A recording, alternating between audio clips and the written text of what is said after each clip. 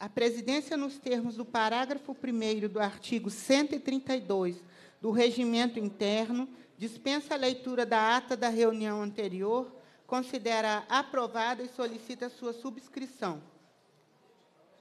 Finalidade da reunião.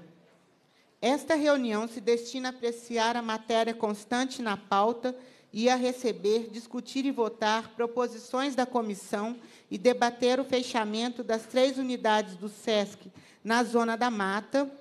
E também vamos debater em todo o Estado de Minas Gerais, né? o, o objetivo foi ampliado, tendo em vista o impacto social causado pela interrupção dos serviços do Sistema S no ensino, na cultura e no lazer. Passa-se a segunda fase da ordem do dia, que compreende a discussão e a votação de proposições que dispensam apreciação do plenário. Projeto de Lei 5.282 de 2018, em turno único, de autoria do, da deputada Rosângela Reis, que declara de utilidade pública o Centro Terapêutico de Reabilitação Obra do Amor, com sede no município de Ipatinga. O relator da matéria, deputado Antônio Jorge, opina pela aprovação do projeto. Em discussão o projeto, em votação, os deputados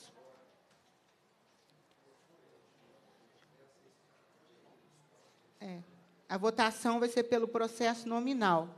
Os deputados, cada um por sua vez, respondam sim ou não, ou em branco, conforme queiram.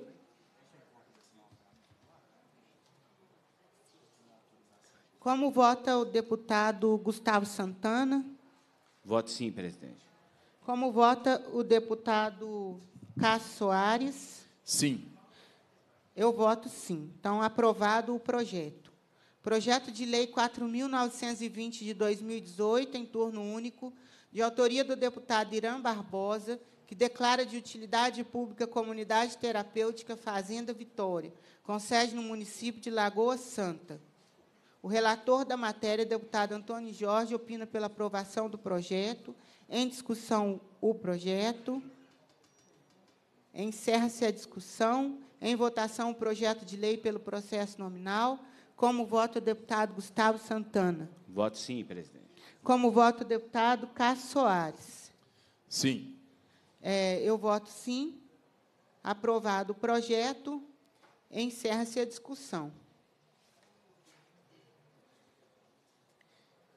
Eu gostaria de informar que esta reunião está sendo transmitida ao vivo pelo portal da Assembleia na intranet. Nesta audiência, o cidadão poderá encaminhar perguntas aos parlamentares e convidados, além de interagir com outros participantes em uma sala de bate-papo. Para enviar mensagens, o cidadão deverá efetuar o login no portal da Assembleia, o que pode ser feito também por meio de contas do Facebook ou do Google. As perguntas serão encaminhadas à coordenação da reunião e poderão ser lidas e respondidas na fase de debates ou a qualquer momento durante a reunião, a critério da presidência. Contamos com a participação do público, agora também online. Agora sim, terceira fase, primeira fase da terceira fase, que compreende a audiência pública. Esta audiência tem a finalidade de debater o fechamento das três unidades do SESC na Zona da Mata, tendo em vista o impacto social causado pela interrupção do serviço do Sistema S no ensino, na cultura e no lazer, e também das demais unidades do Estado de Minas Gerais, especial a unidade de Teófilo Otoni, né? nós temos representantes aqui. Vou convidar os, as pessoas que, que farão parte da mesa. E já estão aqui, né? Eu convido o senhor José Roberto Cajaíba de Oliveira, vereador da Câmara Municipal de Teófilo Otoni. Convido também a senhora Eliane Moreira Aguiar, Aguilar, secretária municipal de Cultura e Assistência Social de Teófilo Otoni.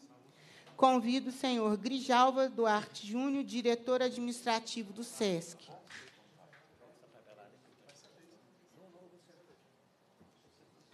Os demais convidados ainda não se fazem presentes, né, que seria o Emerson Belotti, presidente do, do Sindicato do Comércio de Juiz de Fora, Felipe Figueiredo Martins Costa, presidente da Câmara Municipal de Teófilo Otoni, e o Francisco Soares Capelo, filho, diretor regional do Serviço Social do Comércio. Né, mas, como nós temos horário, já iniciamos a reunião. Se eles comparecerem, serão convidados a compor a mesa aqui, a participar. É...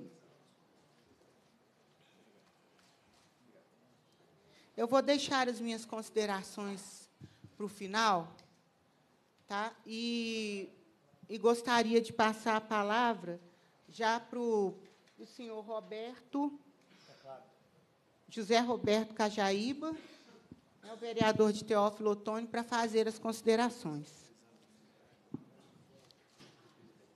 É, senhora presidente, delegada Sheila, eu cumprimento, cumprimentando Vossa Excelência, eu cumprimento todos os deputados que nos honram com a presença e pelo comprometimento com essa causa tão nobre.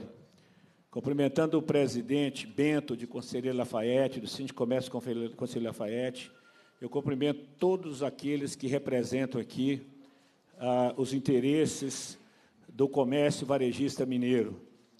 E cumprimento todos aqueles que nos assistem pela rede mundial de computadores. Senhora presidente, quando nós fomos alertados é, com relação à possibilidade do fechamento do SESC, é, tendo uma formação na área administrativa, de consultor de empresas, a primeira, a primeira providência que eu tomei, senhora presidente, senhores deputados, senhores presidente, foi levantar a capacidade de pagamento, os índices de liquidez do SESC Minas. E nós chegamos, logicamente, nós não temos tempo aqui, mas eu posso disponibilizar para vocês, enviando via e-mail. A primeira providência foi analisar os índices de liquidez comparando com os outros estados. E, paz, meus senhores, o SESC Minas tem o melhor índice de liquidez, a melhor capacidade de pagamento de, de imediata e de curto prazo. Eu vou fazer uma correlação aqui com, com o SESC São Paulo. Calculando o índice de liquidez geral, que a gente pega, trabalha as contas do ativo circulante, as contas que vencem dentro desse exercício contábil, dividido pelo ativo circulante, o SESC São Paulo ele tem uma capacidade de pagamento de 10,61. De 10 enquanto o Sesc Minas tem uma capacidade de pagamento de 13,81. O que, é que significa isso? Dentro do exercício contábil, para cada um real que o Sesc Minas deve, ele tem 13,81 em caixa para poder pagar. Enquanto São Paulo, que é a maior economia do Brasil, para cada um que deve, ele tem R$ 10,61 para poder pagar. Considerando o índice de liquidez imediata, que é o que você tem ali disponibilidade em caixa, tirando. É, tirando as reservas, nós temos o ativo circulante do Sebrae. Olha, olha o ativo circulante, a disponibilidade do Sebrae Minas. Oh, oh, desculpe, da, do Sesc Minas. 603 milhões. Isso agora o balancete publicado no dia 13 do 8. 613 milhões 704 mil 950 reais. Nós é, chegamos, é, considerando é, o passivo, é, imediato, nós chegamos a uma liquidez imediata do SESC Minas de 15,03. Ou seja, para cada um real que o SESC Minas deve, ele tem imediatamente para poder pagar R$ 15,03. Sendo que o SESC de São Paulo, ele tem R$ 10,83. Eu não vou me alongar, porque são vários indicadores, mas eu queria falar com vocês que eu utilizei dos mesmos parâmetros, seguindo a mesma metodologia de cálculo, e Minas Gerais tem uma liquidez melhor do que Santa Catarina, melhor do que o Paraná, melhor do que o Rio Grande do Sul, melhor do que o Espírito Santo, melhor do que a Bahia, melhor do que Goiás, e nós não estamos investindo. Então, nós temos um tempo escasso, e, e meu avô Manel Gonçalves, lá em Teoflotone, já falava: meu filho, imagem vale mais do que mil palavras. Eu trouxe para vocês ali alguns slides para mostrar que nossa, nós, em Minas Gerais, estamos na contramão dos outros 25 estados e do Distrito Federal. Será que nós fomos os únicos? É, o, Leonardo Ramos, que é o nosso vice-presidente, está aqui. Eu convoquei Léo ontem, uma hora da manhã. Procure no Google algum fechamento de unidade do Comércio, ou de unidade do SESC, ou de unidade do, do SENAC no Brasil. Léo ficou incumbido disso. Nós não encontramos em lugar nenhum fechamento de pousada, não existe. Então só existe Minas Gerais. Então, Minas pelo que nós estamos observando, a, a direção do SESC, a direção do Fe, da FEComércio, ela toma a decisão em função de uma, uma, um, um, discurso do nosso ministro Paulo Guedes, diz que, que, que pensa em reduzir a, a, as alíquotas do Sistema S. Isso também ocorreu quando Joaquim Levi foi ministro da, da Dilma. Aí a diretoria da Confederação Nacional do Comércio foi lá, apresentou números, os números, e essa decisão ela, ela foi tirada da pauta. Então, eu queria dizer para vocês que parece que só Minas que está acertando e o resto do Brasil está errando. Preste atenção ali naqueles, naqueles slides. Enquanto nós estamos falando em fechar, o SESC São Paulo inaugurou unidade de Guarulhos. Senhoras e senhores, ah, mas São Paulo está fazendo lá um investimento de 180 milhões de reais, mas é o, é o SESC São Paulo, é a FEComércio de São Paulo. Inclusive tem a fonte lá que é do próprio SESC, é o site institucional. Aí nós vamos para outros estados. Presidente Bolsonaro inaugura escola do SESC no Piauí. E foi na semana passada, foi no dia 14 de agosto. E em parceria com quem? Com o SESC do Piauí. E o que, que o presidente disse? Nós vamos reaplicar essas mesmas escolas em parceria com o SESC no Brasil inteiro, que é a escola militar que ele tanto difunde. O presidente Bolsonaro, e estava lá junto com ele o presidente Valdeci Cavalcante, que inclusive faz parte da Confederação Nacional do Comércio. Senhoras e senhores, investimento de 24 milhões e 500 no SESC de Feira de Santana. Será que nós, que temos uma economia muito mais punjante, uma arrecadação muito maior, nós, olha, olha a área construída, 5.665 metros é, é, de área construída lá no SESC de Feira de Santana. Mas é, é esse projeto aí, lá no Rio Grande do Sul, ó, lá no Espírito Santo, vocês estão vendo ali, ó, Domingos Martins. Domingos Martins do Espírito Santo, Viagem Sesc, está, está lá estampado no layout da, da, do site do Sesc. Preste atenção nesse hotel, Coronel, Coronel Sandro, inaugurado agora no mês de julho, lá em Domingos Martins. Nós estamos fechando pousadas em Minas porque dizem que nós estamos sem recurso. O SESC Minas é, é, está, fechando, enquanto o SESC do Espírito Santo, que tem uma arrecadação infinitamente menor, está abrindo hotel dessa magnitude. Olha ali as instalações, senhoras e senhores, com 312 apartamentos para alojar 900 pessoas. E nós estamos colocando aqui que não temos dinheiro, apesar de termos a melhor liquidez do Brasil. Agora, nós vamos aqui, investimento de 84 milhões, senhoras e senhores, deputados. Olha que nós vamos para a unidade do SESC lá de Florianópolis.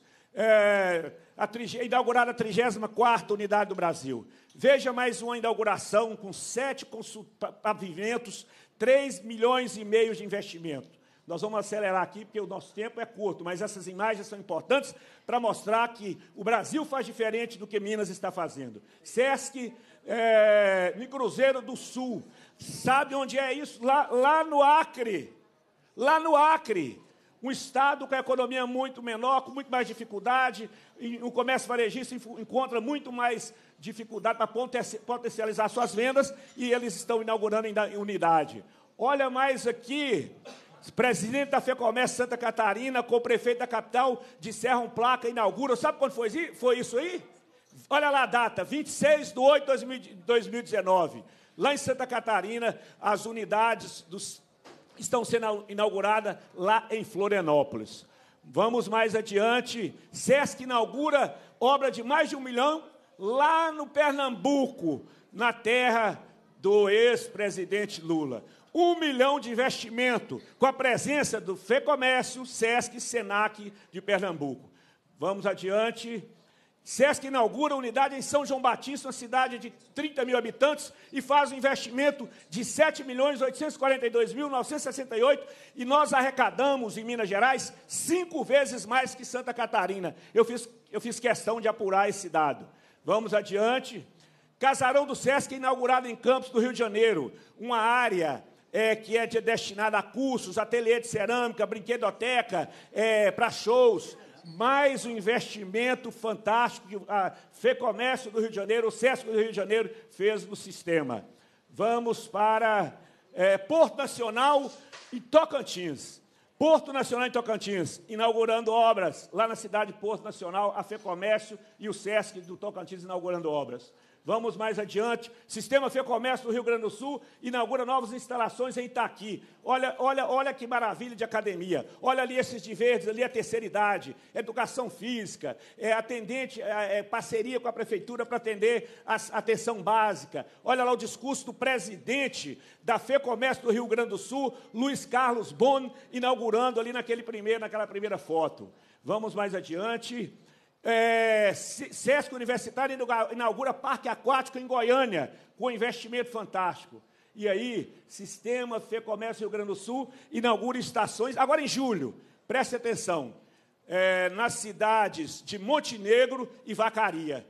Consultório odontológico, academia de musculação, é, espaço saber e lazer, Sesc Games, além de um, um salão multiuso e por aí vai já estamos finalizando, senhora presidente. SESC, lá no Mato Grosso, o SESC e a FEComércio inauguram uma unidade de SESC para a prática do ecoturismo, com investimentos de mais de 10 milhões de reais. Aí, nós, nós queríamos colocar último, por último, o SESC São Paulo, voltado para a inovação. Eles fizeram, inauguraram um SESC, uma unidade do SESC na Avenida Paulista, que exclusivamente vai tratar de tecnologia, inovação e arte. Eu não coloquei aqui ainda, senhoras e senhores, é, o SESC de Rondônia, que inaugurou recentemente uma unidade em Rondon Pacheco. Rondônia. Agora vocês poderiam falar, mas tem mais. Roraima inaugurou uma unidade com mais de 6 mil metros de área construída no estado de Roraima. E aí é o questionamento que nós queremos fazer: por que, que em todo o Brasil estão sendo inauguradas unidades do SESC, estão sendo inauguradas unidades do Senar, e em Minas, que tem uma capacidade, que tem 608 milhões em caixa e o, SESC é uma sociedade civil sem fins lucrativos e eles estão fechando as unidades do SESC. Não pode ter fins lucrativos. Justificam que é a capacidade ociosa. Enquanto o presidente Bolsonaro inaugura uma escola para o ensino médio lá no Piauí, lá em Teresina, a, a FEComércio e o SESC Minas decide fechar as, fechar, as escolas de ensino médio e a de Teoflotone já está sendo fechada, com sendo o último ano, agora o de 2019. Nós, de Minas Gerais, não podemos aceitar isso. Porque isso tem, nós estamos desde 2013, a, a, o Poder Judiciário investigando a, as falcatruas, a improbidade administrativa que caracteriza, que caracteriza a gestão da Federal Minas. É o que eu teria para dizer, senhora presidente, senhores deputados, a, a, a audiência presente, mas eu tenho aqui é, e coloco-me à disposição para enviar para todos vocês que desejarem toda a documentação necessária para que vocês possam se fundamentar e posicionar ainda mais e posicionar as autoridades das suas cidades, mais deputados, mais vereadores, mais prefeitos, para que a ordem seja estabelecida no sistema FEComércio de Minas Gerais. Muito obrigado.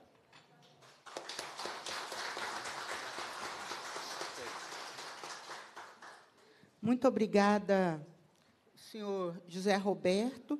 Né, gostaria de registrar aqui a presença do, do Emerson Belotti, presidente do Sindicato Comércio de Juiz de Fora. Já está aqui conosco, e também o César, que está representando o deputado Coronel Henrique. É, eu, gost, eu, vou passar a palavra ao deputado Coronel Sandro, é, porque ele tem um, um, um compromisso logo em seguida, e depois nós voltamos para a mesa. Obrigado, presidente. É um prazer participar pela primeira vez de um, uma audiência aqui nessa comissão presidida por Vossa Excelência. Quero cumprimentar os deputados aqui presentes, Neilando Pimenta, Gustavo Santana, e o representante do deputado Coronel Henrique, e, em especial, o vereador Cajaíba, lá da nossa querida Teófilo através de quem eu cumprimento os teoflotonenses presentes aqui e também é, os nossos amigos da Zona da Mata. É, o, o, pronunciamento do Cajaíba aqui ele foi bem elucidativo. Me chamaram a atenção alguns tópicos específicos. Primeiro, que o SESC está investindo no país inteiro. Está provado pelas imagens e pelas informações apresentadas. A segunda informação é que o único estado em que está ocorrendo, pelo menos pelo que foi falado aqui, fechamento de unidades e de eventuais serviços prestados pelo SESC é em Minas Gerais. Bom, a outra informação relevante é que, pelo fator financeiro, não haveria justificativa para que isso acontecesse. Segundo o vereador, há um volume considerável de recursos em caixa da instituição, o que, em tese, favoreceria é a realização de investimentos, e não de fechamentos de unidades. Então, esses pontos aqui, para mim, dito pelo vereador, já indicam que há alguma coisa a mais nesse processo de atuação do SESC. Eu recebi aqui um ofício dirigido a mim, assinado pela, pela senhora Maria Luísa Maia Oliveira, presidente interina da Federação do Comércio de Bens, Serviços e Turismo do Estado de Minas Gerais, FEComércio.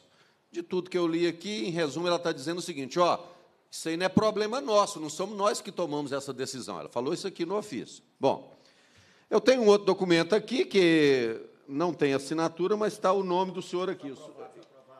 Então, essas informações aqui estão chanceladas pelo senhor. Então, dizem que quem dirige o, sistema, o SESC é, no, no, outro ofício, que é a Confederação Nacional do Comércio, a qual a FEComércio está afiliada. Mas nessas informações aqui do, do vereador Cajaíba, é, primeira, que me chamou a atenção, a presença dos mesmos diretores nas três entidades, FEComércio, SESC-MG e SENAC-MG. Bom, até aí nada de anormal, isso é perfeitamente viável, pode acontecer dentro dos interesses da, da, da instituição que é de direito privado. Muito bem. Mas ele traz informações aqui de que essa turma toda está sendo processada Aqui tem desvio de dinheiro, organização criminosa, e vai sendo desfiada aí uma série de, de crimes. Bom, aí já começa a mudar de figura.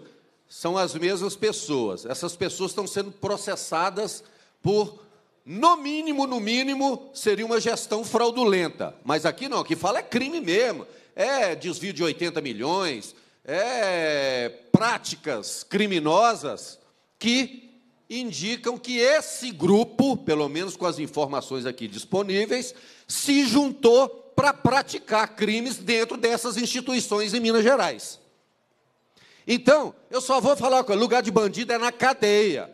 Não é, não é ficar utilizando-se de recurso que é público, que vem de contribuições de filiados e associados, para empregar com práticas patrimonialistas para enriquecimento próprio e da família e dos grupos que o sustentam, para no final quem sai perdendo é a coletividade. E aí, por retaliação, pelas informações que me foram passadas, porque nessas cidades onde estão acontecendo o fechamento, me corrija se eu estiver equivocado, vereador, me parece que o grupo lá é, se opôs a essa diretoria, que foi afastada por práticas criminosas e que agora está sofrendo a retaliação com o fechamento das unidades. Olha, eu vou dizer, se nós aqui nessa Assembleia aceitarmos isso, sem fazer nada, nós estamos dizendo: vai lá, bandido, safado, pratica seus crimes que está tudo bem. Prejudica uma comunidade lá do Vale do Jequitinhonha, que é Teoflotone, prejudica as comunidades lá da Zona da Mata, onde estão sendo fechados, porque vocês estão certos, entraram na nossa casa, roubaram o que era nosso, riram-se de todos nós, abafaram a reação daqueles que não concordavam e continua tudo bem. Vocês ricos e as unidades sendo fechadas. Então, Eu quero deixar aqui a minha solidariedade. Essa comissão, acredito que ela vá ainda fazer gestões junto ao Ministério Público para que essas apurações, esses processos andem mais rápido e que o Ministério Público seria importante que estivesse aqui hoje também, que agisse para impedir que mais injustiças desse porte sejam praticadas. Uma parte, deputado. Pois não. Eu só queria é, salientar aqui para os nobres deputados que nós, na reunião de segunda-feira, na reunião de agora, inclusive apuramos, apuramos, aprovamos o requerimento desse vereador que solicita a vossas excelências a instauração da comissão parlamentar de inquérito da FEComércio. Uai, porque eu acho que cabe a essa casa dar esse encaminhamento. Eu acho que nós vamos evoluir é para isso, porque gente, se você tem um bandido que ele furta uma laranja no quintal, a ação contra ele é uma. Você não vai gastar chumbo grosso com caça miúda. Agora, se tem uma organização criminosa que há anos se perpetua no poder e que cada vez mais vai desviando dinheiro, vai sangrando os cofres de instituições que deveriam voltar todos os seus recursos para atender a coletividade. Mas não, se, se organizam criminosamente, desviam é, praticam toda sorte de crime, aí nós temos que usar o que a gente tem de mais forte. É CPI, é Ministério Público, é processo, é cadeia preventiva. E é isso que tem que acontecer. Bandido. E para mim, com esses processos e pelas informações que eu tenho aqui, nós estamos lidando é com bandidos, com criminosos muito bem organizados e que agora estão indo à forra com aqueles que não concordaram com o que fizeram. Então eu quero deixar registrar todo o meu apoio, parabenizar essa comissão por essa audiência e dizer que o que depender de mim, desse deputado, eu creio que dos demais deputados dessa casa, nós não vamos deixar isso barato, porque não podemos. Nunca não podemos. Então, muito obrigado, presidente. Eu vou pedir para me retirar, que eu tenho um compromisso agora lá na presidência, mas terminando lá eu volto aqui. Se tiver audiência ainda, a gente continua. Tá bom? Obrigado. Obrigado, deputado Coronel Sandro, pela participação. É, gostaria também de registrar a presença aqui do deputado Neilano. Eu não tinha visto que ele estava aqui, né? E é, seja muito bem-vindo. É, e também do senhor Iesser Lavar, Lauar, o nome é difícil. É, o presidente do Sindicomércio, Teófilo Otônio. Seja muito bem-vindo. Se quiser fazer parte da mesa, gostaria de convidá-lo, esteja à vontade. Senta do meu lado aqui. Chega aqui. Obrigada. É, agora, gostaria de passar a palavra para o Emerson Belotti, né, representando aí o Sindicato do Comércio de Juiz de Fora e a Zona da Mata. É, bom dia a todos, bom dia, deputada, que e através dela eu cumprimento os outros deputados. É, eu estou presidente do Sindicato Patronal de Juiz de Fora e a gente sempre debate sobre os assuntos do Sistema S. Né? É, muito se fala que a Federação do Comércio, da qual eu fui vice-presidente, ela ela é uma instituição de direito privado. Né? E assim como o Sistema S se coloca essa, essa situação. E isso não corresponde com a verdade. Por quê? Porque existe o interesse público, o Sistema S é de interesse é, público, é de, de, de é, valores é, obrigatórios que as empresas pagam para que os empregados do comércio e de bens e serviços possam usufruir, seja no Senac ou seja no SESC. É, então, o sistema ele é híbrido, ou seja, existe a parte do direito privado do, dessa situação, mas também existe o direito público. Por isso é que os presidentes, é, não só da Zona da Mata, né, que estão fechando três SESCs na, na Zona da Mata, mas também é, em função é, de todos os SESCs que nós temos em Minas Gerais, é que nós conclamamos a deputada Sheila para que pudesse abrir essa audiência. E eu vejo da seguinte forma: a, a obrigação do sindicato patronal, seja ele de qualquer de que cidade for, é proteger o sistema S. Então, é, independente de qualquer coisa, de ações que possam dizer, né, o representante do SESC está aqui hoje, eu vejo algumas pessoas do SESC hoje da atual administração, é, nós temos que de saber é, como abrir essas contas. Porque hoje o SESC tem um conselho né, e foi decidido que, por algum motivo, a, a, se fechar sete unidades, enquanto que no Brasil está cada vez mais próspero o, o aumento de unidades. Então, eu vejo o seguinte: a terceira maior arrecadação do Sistema S é de Minas Gerais. Né? São, é dinheiro público envolvido na obrigatoriedade dos empresários. E, e, os empresários, naturalmente, se estão pagando, eles querem ver retorno para seus empregados, através do, do serviço social do comércio, que é a cultura, a arte, a educação, o entretenimento. Não é porque o SESC simplesmente está querendo mudar de rumo, ou de ideologia, ou de pensamento, que não possam se aproveitar as unidades hoje existentes para se fazer esses projetos novos. Falar que a unidade, eu vou falar um pouco de Juiz de Fora, porque eu sou estou presidente de Juiz de Fora, né? Eu sei da luta aí do, de Teófilo Otoni, tem uma escola de ensino de referência, e a gente quando vê isso, né, a gente fica pasmo, porque eu já fui desse sistema. Eu hoje pertenço, ao, eu sou filiado, o Sindicato de Comércio de Fora é filiado à Federação do Comércio, mas não faz mais parte da diretoria nem do conselho. Então, a gente, por ter essa experiência de vivência dentro da unidade SESC né, e do SENAC, que eu era conselheiro, as unidades do SESC e SENAC não foram feitas para dar, dar lucro. Se tiver dando lucro, tem alguma coisa errada. Então, o empresário não precisa nem, nem contribuir. Não é? Nós temos unidades, é, infelizmente, muitos conselheiros do SESC decidem coisas no SESC e nem conhecem todos os SESCs. Então, é, é, importante conhecer, vivenciar, conhecer a cidade, conhecer o SESC que está sendo fechado. Não é? Quando eu estava conselheiro do SENAC, o SENAC tem 42 unidades. Eu conheço as 42 unidades.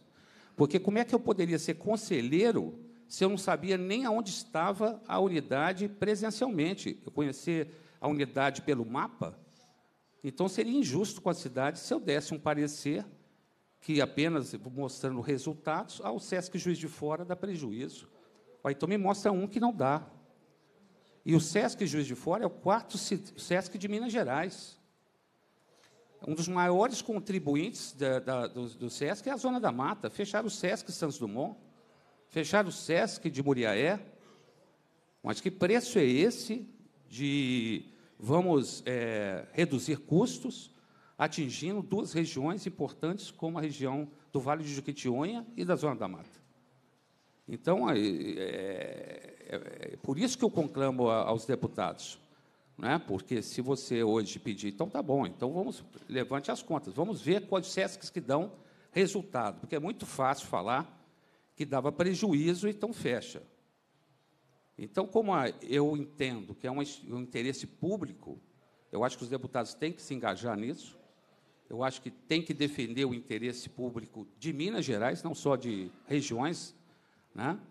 E o que eu gostaria de complementar é que é, quem está no sistema gosta do sistema, ama o sistema. Né? Nós vemos que os funcionários do SESC e do SENAC pelo menos os mais antigos, amam o SESC e o SENAC. Eles não estão só trabalhando lá, não. É uma questão de. Não é só profissão, não é o aspecto profissional. O SESC e o SENAC é um, é uma, é, são duas instituições que não pode se comparar uma empresa com, com interesse privado. Quer dizer, eu, eu não sei de onde, da onde vem essa conversa de interesse privado. A FEComércio recebe 3% do Sistema S para fazer gestão de administrar o SESC e o SENAC, ela recebe dinheiro público, ela recebe 3%. A, o, o sistema S, então, mais ainda. Esse sim tem que ser fiscalizado pelo TCU, pelo CGU, porque quem não deve não teme. Eu não importo que o meu sindicato seja fiscalizado por qualquer instituição. Porque se você faz a coisa certa, você pode ficar com a porta aberta para qualquer um entrar. Então eu vejo que eu conto muito com a Assembleia Legislativa de Minas Gerais. Gostaria muito que a deputada Sheila, com os mais os deputados, pudessem engajar nesse interesse, pelo interesse público. E, mais uma vez, deputada, eu só queria agradecer né? É, desculpe ter chegado atrasado, porque o trânsito de, de Juiz de Fora para cá é pesado. Mas é, eu acho que qualquer eventual, é, vamos dizer assim, argumentação do SESC, eu não escutei ainda o representante do SESC, mas qualquer argumentação, ela precisa ser aberta, transparente. Só, só, o, só a fala que é, é isso e acabou, para mim, não basta. Obrigado.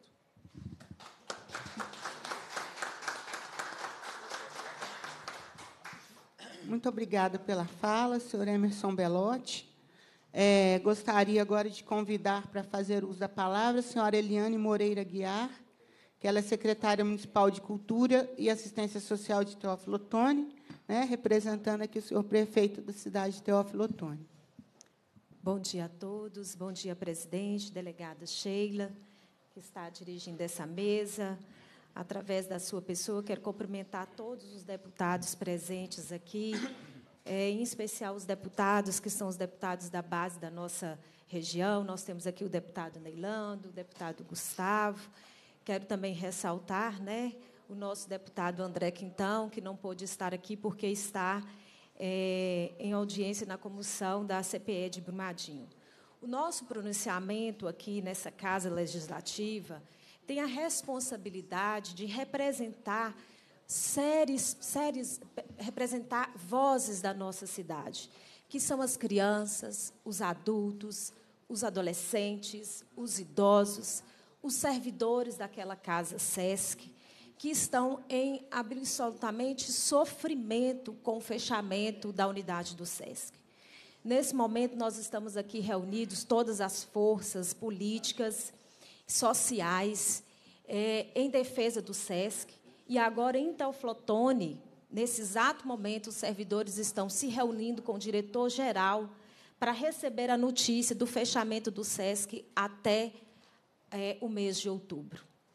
Então, diante de todas essas exposições que foram feitas aqui e relatadas né, pelo vereador Cajaíba, pelo deputado é, Sandro, é, haja vista que financeiramente não é uma resposta para o fechamento do SESC. Quando em pesquisas a gente observa que, né, que o SESC de Minas Gerais é a terceira potência em arrecadação. Então, o prejuízo com o fechamento do SESC para a nossa cidade, para a nossa região, é imenso. Aqui nós estamos falando de fechamento de cultura, de educação, de futuro. E eu posso falar isso com muita propriedade, porque eu sou uma filha do SESC.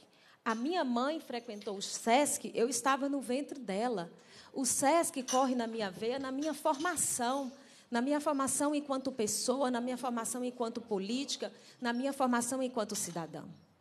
Nós tivemos a oportunidade de todas as instituições, né, de Teoflotone, os artistas, o comércio aqui representado por o IESER, é, é, é, a Câmara dos Vereadores, é, toda a Prefeitura Municipal, através dos seus secretários, em fazer um movimento junto com os pais e alunos, abraçamos o SESC, fizemos uma caminhada de conscientização do que aquela instituição representa na nossa cidade e na nossa região. É, gostaríamos de ressaltar também que é muito importante o esforço de todos os entes políticos aqui presentes, as pessoas que estão nos ouvindo através das redes sociais, todos os deputados, para que somem esforços para que a gente possa lutar contra o fechamento do SESC. Né? Nesse momento, o nosso prefeito Daniel Sucupira, juntamente com o deputado é, Fabinho Ramalho, estão em audiência em Brasília com o vice-presidente geral da unidade né, do SESC, o Valdeci, para que juntos possam também somar esforços para o não acontecimento do fechamento do SESC. Nós estamos lá indignados, nós estamos lá em sofrimento, Aquelas crianças que estão exatamente na escola, sem perspectiva do futuro, do que vai acontecer. Né? São várias crianças que estão estudando na escola SESC. Não teve processo seletivo para o próximo ano já. Então, a gente está falando de algo que vai trazer um impacto social, cultural e educacional de grande impacto para a nossa sociedade. E aqui eu quero parabenizar essa comissão por estarmos aqui hoje discutindo um assunto de extrema importância. E peço a união de todos vocês para que a gente possa lutar firme contra o fechamento do SESC. Em especial, a unidade de Teoflotone, que está localizada no Vale de Jequitinhonha, um vale de pobreza, onde as únicas e efetivas manifestações culturais que nós temos é através do SESC. Então, nós não podemos deixar isso acontecer. E agradeço a oportunidade de estar aqui presente e dizer para vocês que juntos nós somos mais fortes. O SESC ele é importante para o Brasil inteiro. É importante para Minas Gerais, mas ele é muito e significa muito para a nossa cidade e região. Muito obrigada.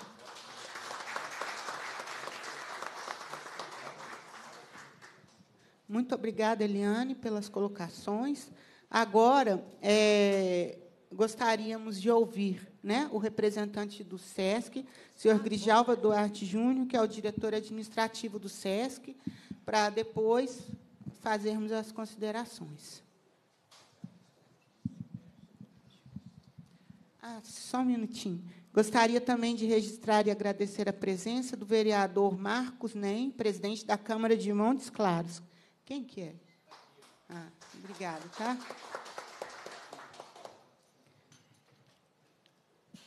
Deputada delegada Sheila, muito bom dia. Obrigado pelo convite em nome da Diretoria Regional do SESC e da presidência do Conselho Regional do SESC, em nome do doutor Valdeci Cavalcante. Fomos enviados aqui para representar o SESC né, e prestar os esclarecimentos necessários. É, e saímos daqui com, com um entendimento diferente de muitas coisas que já foram ditas aqui. Né? É, cumprimentar os demais deputados presentes à mesa, é, convidados, funcionários do SESC aqui presentes, presidentes de sindicatos. É, eu queria propor à deputada Sheila, que faz parte aí do, do partido do presidente deputado Bolsonaro, que propusesse também um, um, um, grupo de trabalho aqui nessa casa, junto aos demais deputados, em defesa do Sistema S. Né? É, na mídia, temos ouvido falar de possíveis cortes. É, a CNC tem trabalhado ah, nos bastidores é, é, em busca de alinhamentos com o governo federal, para que o governo federal, através do ministro da Economia, Paulo Guedes, de fato conheça o que o Sistema S faz nesse país. Nós ficamos muito felizes e satisfeitos de saber que o SESC é tão importante nessa cidade e constatar isso aqui na fala dos vários é, é, que me antecederam aqui. Né? O SESC, sim, faz um excelente trabalho, tem, sim, uma excelente importância é, nos municípios, em todos os cinco programas que o SESC atua. Né? Então, queria propor isso para a deputada, que encabeçasse um movimento de interlocução com o governo federal, até em defesa do Sistema S, né?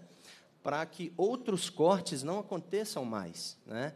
na nossa verba compulsória, ou no repasse da verba compulsória, e, consequentemente, suspensão de atividades na ponta, nas atividades fins que entregamos para a sociedade. Né?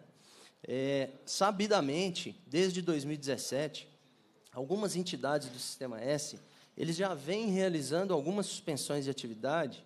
É, como exemplo, posso citar a FIENG, que já fechou 14 unidades no estado de Minas. Então, Flotone e em Juiz de Fora, especificamente, foram fechadas recentemente tanto unidades do SESI quanto unidades do SENAI, né? É, com uma justificativa de readequação de sua estrutura.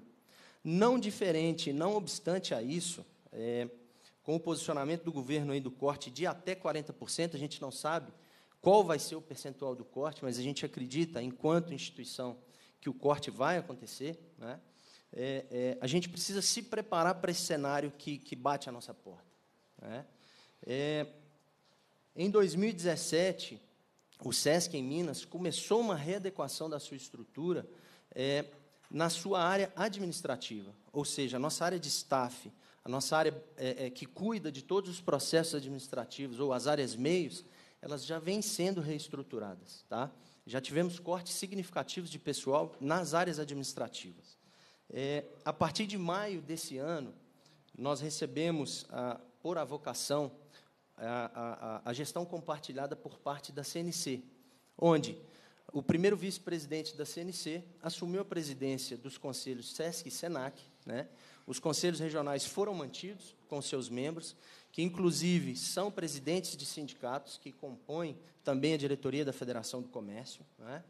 É, e a diretriz que nós recebemos enquanto equipe técnica foi de reestruturar, reestruturar e adequar toda a nossa estrutura né, ao atual cenário. Sabidamente, desde 2014, o Brasil vive uma crise econômica significativa. Né? Todas as empresas, todos os mercados vêm se reestruturando, vêm se adequando à realidade desse país. Né? E nós ainda não saímos da crise. É, nós realizamos, desde então, a partir da demanda da CNC, quando iniciou-se a gestão compartilhada, vários estudos técnicos. Né? É, é importante ressaltar que o SESC é, possui uma equipe técnica altamente qualificada para realizar todos esses estudos de viabilidade, de estruturação de negócio, tá? de vocacionamento das nossas unidades para a realidade de cada município.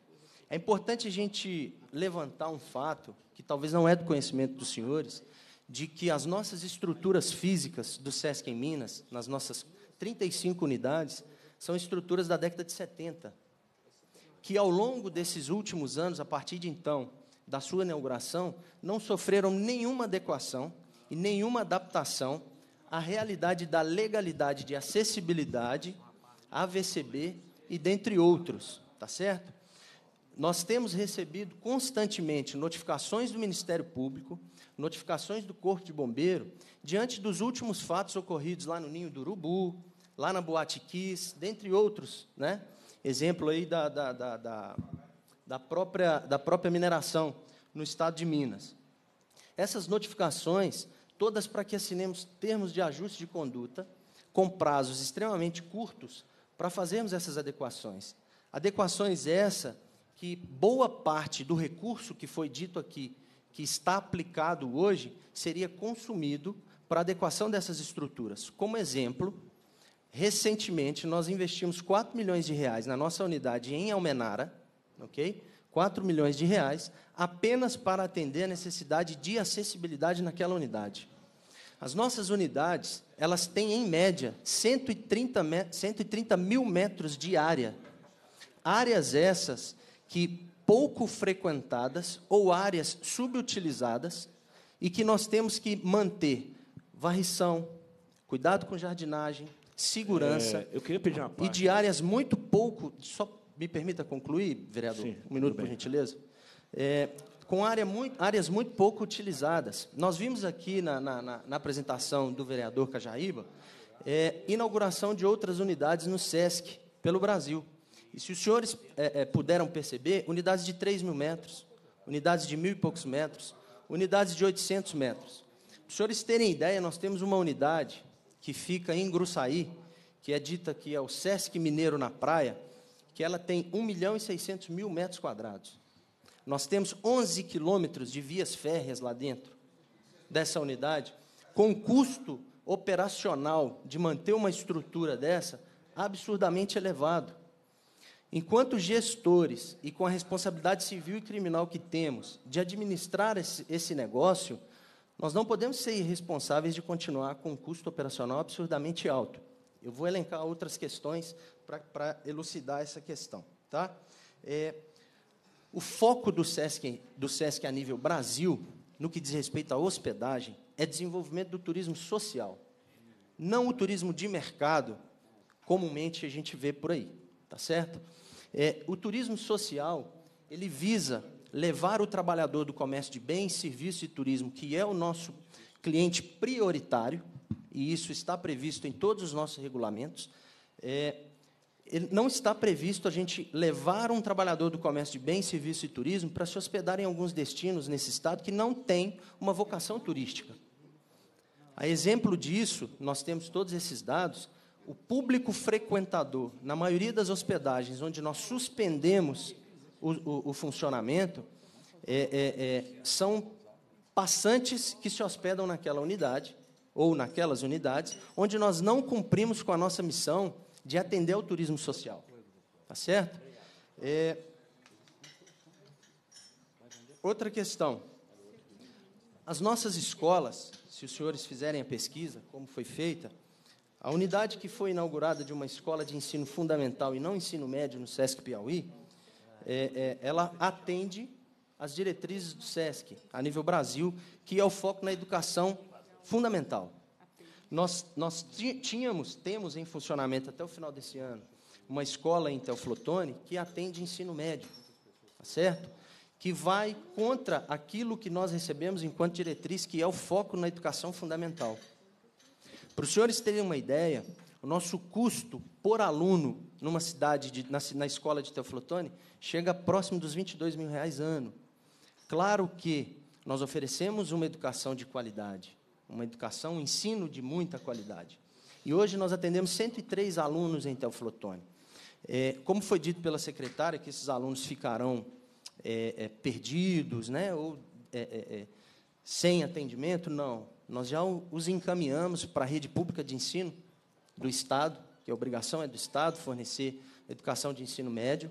Já encaminhamos esses alunos, já comunicamos a secretaria, já comunicamos os pais, inclusive antecipadamente, para que esses pais se planejem.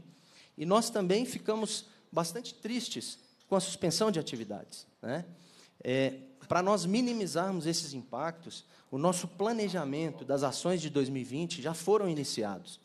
E em reunião com o, com, com, com o prefeito Daniel Scupira, ele esteve no SESC, tanto ele quanto o deputado Fábio Ramalho, nós os recebemos. Estamos à disposição para receber aqueles que quiserem sentar para um bate-papo mais aprofundado e entrarmos num nível de detalhe que talvez seja interesse dos senhores. Estamos à disposição no SESC, assim como estivemos com ele. E, e solicitamos ao, ao prefeito Sucupira que nos enviasse um ofício, apenas por formalidade, para começarmos os estudos na cidade também, de levarmos nossas unidades móveis nós pretendemos minimizar esses impactos nesses municípios, é, é, levando a, a, a, esses municípios vários atendimentos com as nossas unidades móveis. E aí podemos citar nossa carreta de odontologia, né, que nós podemos fazer atendimentos odontológicos. Nós podemos citar nossa biblioteca volante, que são carretas de biblioteca volante. Nós podemos levar a, o SESC Saúde da Mulher, onde nós realizamos exames de Papa Nicolau, nós realizamos exames de mamografia, exames ginecológicos. Nós temos o SESC Oftalmologia, que também vamos priorizar o atendimento desses municípios, bem como outras atividades culturais, tá certo? É, e temos uma diretriz da CNC de focar no desenvolvimento de saúde, tá certo? Foi falado que o SESC Minas não tem investido no estado de Minas. Só para citar para os senhores aqui alguns exemplos. No final do ano de 2017, nós inauguramos a nossa hospedagem social lá no Sesc Venda Nova, onde nós acolhemos gratuitamente adolescentes e seus acompanhantes vindos do interior para tratamento de saúde na capital, incluindo alimentação. Então, aquelas crianças que ficam em tratamento de doenças, principalmente câncer, ali em volta da Praça Hugo Werneck, nós recebemos eles gratuitamente no Sesc Venda Nova, com quatro refeições dias, fazemos o transporte para tratamento para os hospitais e de volta para as nossas unidades de hospedagem. E vale ressaltar que a estrutura física existia, mas não com esse direcionamento de atendimento a, da hospedagem social, de atendimento a essas pessoas doentes. ok? É, incluindo, nós também inauguramos o Sesc Fitness em Pouso Alegre, uma academia de 800 metros quadrados, que é a melhor academia da cidade de Pouso Alegre. Estamos aqui com a presença do presidente do Sindicato do Comércio, de Pouso Alegre. É, e essa unidade hoje ela conta com 720 clientes inscritos, onde nós atendemos, atende, atendemos prioritariamente aí 70% de trabalhadores do comércio na região. É, Sesc Lavras, nós vamos agora, no dia 30 de setembro, entregar a reforma e ampliação do Sesc Lavras, onde nós vamos inaugurar uma academia nova, com 400 metros quadrados, e nós pretendemos atender ali 600 pessoas.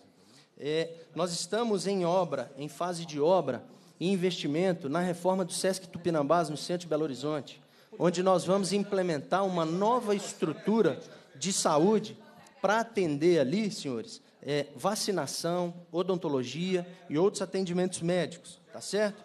Nós inauguramos, o ano passado, o nosso centro de, de, de referência, Centro de Excelência em Saúde, que é um prédio de sete andares no bairro São Francisco, onde nós temos 16 especialidades médicas e não médicas, onde, para título de exemplo, nós hoje, nós hoje é, cobramos um valor de uma consulta médica da ordem de 52 reais.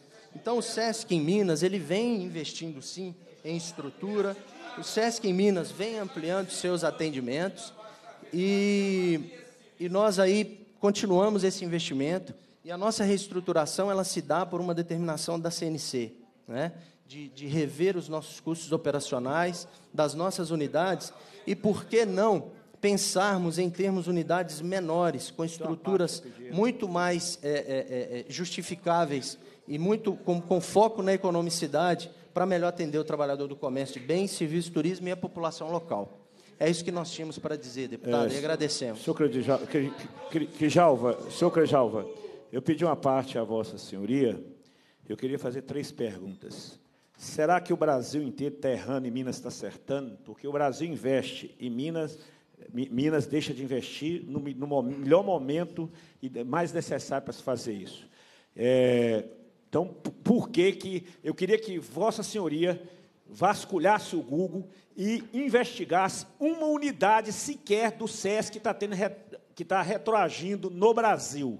É, Léo, Léo, Léo fez isso ontem à noite, ficou várias horas e não conseguiu. Se vossa, vossa, é, vossa senhoria tem seu celular, pode acessar e busca isso para mim e me informe que eu deva estar desinformado. É. Outra, outra colocação que eu queria fazer: se o presidente Bolsonaro vai lá no Piauí, que até o presidente da CNC, o presidente da Fe Comércio lá, é, é, é um dos membros do Conselho Deliberativo da CNC, se ele vai lá, inaugura uma unidade de ensino médio, como é que para Teoflotone ela não é prioridade para o Piauí e o presidente ainda disse que vai inaugurar várias no Brasil? Agora eu queria lhe fazer outra pergunta.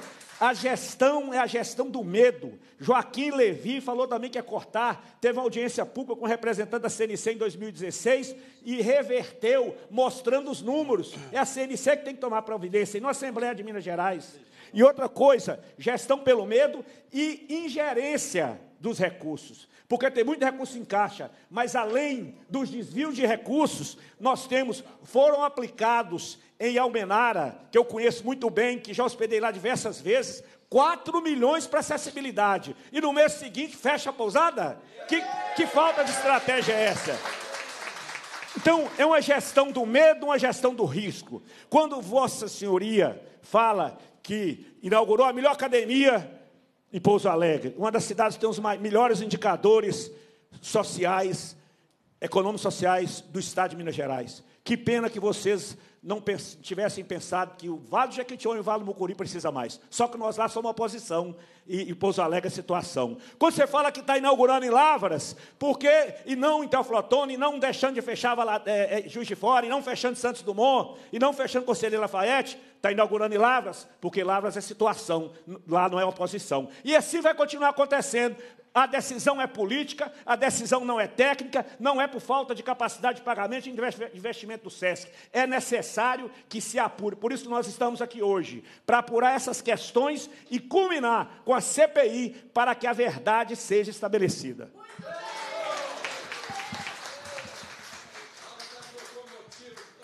É, só um momento, por favor. Eu gostaria de solicitar a plateia que não se manifestasse, tá, gente? Daqui a pouquinho nós vamos abrir oportunidade para para perguntas, tá, aos integrantes da mesa, porque senão, é, às vezes a gente foge um pouco ao controle e fica numa situação constrangedora. Então, eu gostaria deputada, de solicitar, por favor. Deputada, eu gostaria de uma parte com a representante do SES, pode ser? Sim, pode.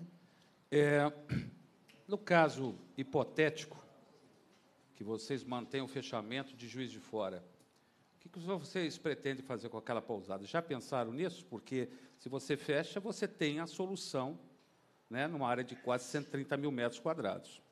Então, eu gostaria de saber do representante do SESC o que, que ele pretende, né, ou seja, o que, que o sistema do SESC pretende fazer para os comerciários da cidade de Juiz de Fora, são 42 mil, para aquela unidade de, de, de, da pousada, que é um patrimônio do SESC.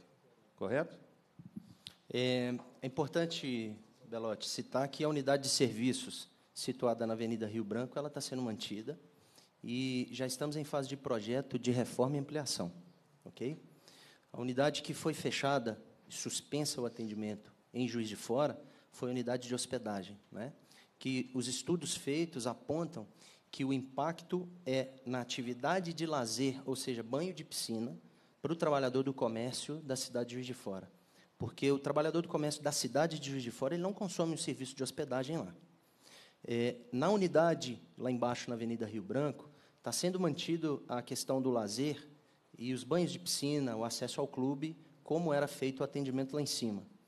É, inclusive, os investimentos que pretendemos fazer na unidade de Juiz de Fora é justamente para atender o trabalhador do comércio da cidade, que é uma cidade com um enorme potencial e com um grande número de trabalhadores do comércio. Nós suspendemos o atendimento apenas exclusivamente da unidade de hospedagem, tá certo? Mas a unidade de serviço lá embaixo, ela vai ser reformada e ampliada. E já estamos em estudo para começar uma discussão com a prefeitura local para solicitarmos aquele imóvel hoje cedido ao posto de saúde da Rio Branco para nós ampliarmos atendimento de saúde lá também. Então existe esse movimento, tá, de, de investimento em saúde e educação é, e de ampliação dos atendimentos em vários outros municípios também. Pois okay? é, mas é, você não respondeu. E o direcionamento da, da estrutura física, nós já estamos em fase de avaliação desses imóveis, tá certo? Já estamos dialogando com vários stakeholders interessados nisso, inclusive Exército, para disponibilizar o espaço para uso público, inclusive prefeituras que tenham interesse, talvez, de usar o espaço. Já oferecemos até para o prefeito de Teoflotone também o uso de alguns dos espaços da unidade de Teoflotone, inclusive com o apoio e colaboração técnica do SESC no desenvolvimento de algumas atividades. É, eu só queria passar uma informação que eu acho que é de seu conhecimento também, né? e aqui ele está representando o SESC, eu acho que a gente tem que ouvir. Né? Mas é, a, a, a, unidade pousada, que era só feita para piscina, eu não posso acreditar numa argumentação dessa. Porque o Sesc Pousada Juiz de Fora é muito maior do que isso. Entendeu? Então, eu gostaria que todos fossem à pousada de Juiz de Fora para ver o que está acontecendo. Sobre a, a capacidade de hospedagem, a gente precisa reavaliar quanto está se cobrando do comerciário a importância para se hospedar no SESC. Se eu quiser fechar uma unidade hoteleira do SESC, é só colocar 192 reais, porque esse é o valor que me passaram, de para você dormir numa pousada do SESC. Olha, isso é valor de quatro estrelas em Juiz de Fora. Então, quer dizer, se a colônia foi feita para o comerciário, ela não está tá tendo o, o intuito correto. A gente não pode ter um desvio de pensamento. Né? O SESC Pousada de qualquer cidade no Brasil tem que ser para o comerciário e a preços de comerciário possa pagar. Essa unidade, por exemplo, do, pro, doar isso para o Exército, meu Deus do céu, quer dizer, pegar o dinheiro, dinheiro do empresário, quer dizer, e, e que se tornou público, porque ele, se tor ele é obrigatório, por isso que ele é público, para passar, gastar um, comprar uma unidade há 30 anos, eu creio que o Sesc Pousada tem isso, para dar para o pro, pro, pro, eu acho que pode dar até para outras coisas. O, o, Sesc Pousada, ele pode ter uma instituição de ensino lá, ele pode ter uma instituição de educação lá, ele pode ter uma instituição de saúde, melhor dizendo, do que simplesmente doar isso para o Exército. Eu nem vou perguntar das outras unidades, que eu posso ficar até surpreso mais ainda. Então, quer dizer, eu, eu acho que precisa de uma reavaliação, é, continuo insistindo nisso, eu acho que os SESCs não devem ser fechados, eu acho que os SESC precisam ser reavaliados. Cada cidade tem uma história e uma, e uma vocação. Precisa ver qual é a vocação para se manter o SESC de lá. simplesmente fechar porque está dando 4 milhões. E esses 4 milhões está saindo é do bolso dos empresários. Não é do bolso do, do superintendente do SESC, do presidente do SESC, ou qualquer coisa parecida, não. Então, a gente tem que cuidar muito bem do dinheiro público, porque senão nós vamos começar a, a piorar o que já estava é, ruim no sentido de pensamentos do próprio SESC hoje aqui.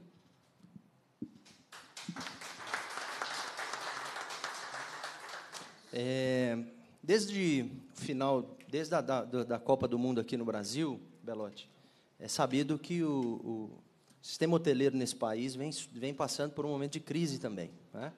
Ah, nós tivemos exemplo aqui o Otton Palace em Belo Horizonte que fechou suas portas. É, a título de informação, nós temos uma política comercial voltada para o trabalhador do comércio, e provavelmente esse valor que o senhor se referiu à diária de hospedagem é para o público em geral. O trabalhador do comércio ele paga 50% do valor do tarifário para o público em geral. Então, existe uma política comercial onde nós priorizamos o trabalhador do comércio. E, e essa política comercial e o nosso tarifário de preços e foi muito bem pensado por uma equipe técnica e ele é de acordo com a realidade de cada região desse, desse estado. Então, não posso comparar o poder aquisitivo, talvez, do leste de Minas com a região do Triângulo. Então, existe esse estudo, o preço é bem abaixo do que é praticado no mercado, pensando em trabalhador do comércio, e para o público em geral, nós não podemos ser concorrentes dos, dos meios de hospedagem privados, até porque nós, nós gozamos de imunidade tributária. Não seria justo né, praticarmos um preço para o público em geral mais barato do que as empresas locais. Né? Inclusive, há vários questionamentos de empresários locais nesses municípios onde temos hospedagens quanto à necessidade e utilidade do nosso serviço nessas cidades.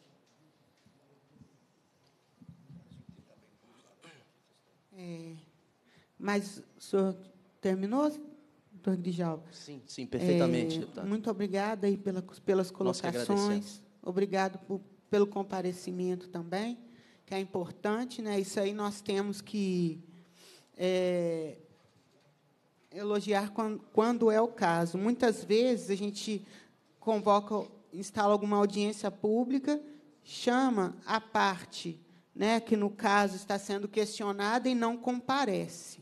Né? Então, o SESC, é, nós devemos elogiar, eles tiveram a hombridade, a transparência de comparecer, de envi enviando seu representante, que é o diretor administrativo, fez questão de estar pessoalmente aqui esclarecendo as dúvidas. Tá? Então, muito obrigada aí pela deferência né, e conte também conosco. Nós que agradecemos, deputado. É, gostaria de, de convidar agora o deputado Neilando para fazer o uso da palavra.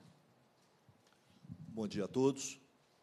Quero cumprimentar a presidente Sheila, os colegas parlamentares, Tadeuzinho, deputado Gustavo Santana.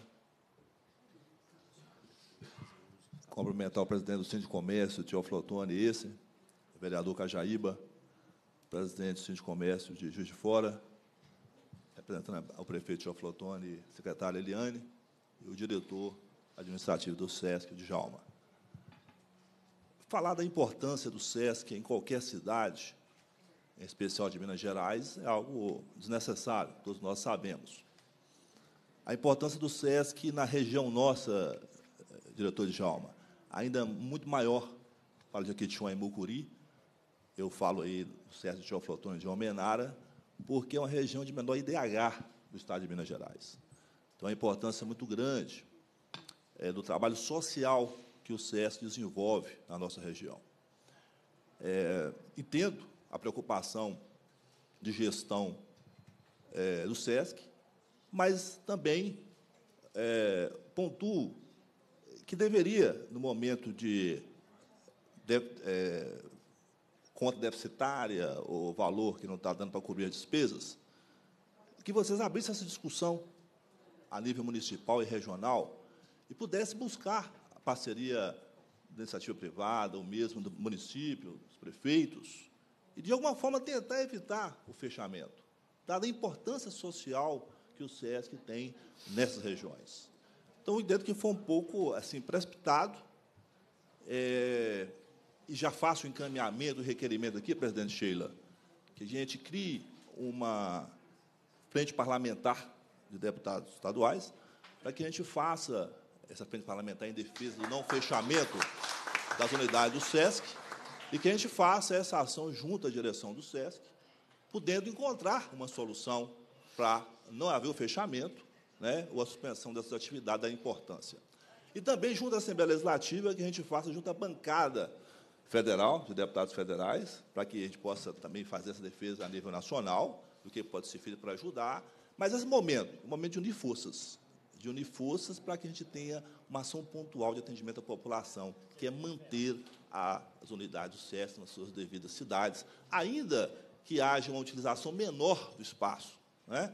Mas os serviços em si, de repente, aquele serviço que é desenvolvido lá no SESC, não precisa de tantos mil, tantos mil metros quadrados, que possa fazer isso em uma, um tamanho ali, num espaço menor. Mas o importante é o serviço, é a assistência que é prestada à população, sobretudo essa assistência na área educacional, cultural, social. Então, eu acho que há é, a possibilidade, com esse envolvimento dos parlamentares, com a criação da frente parlamentar, com a ação do deputado federal, de todos vocês que estão aqui, da classe empresarial, dos prefeitos, a gente encontrar uma solução e ter a manutenção, evidentemente, dessas unidades.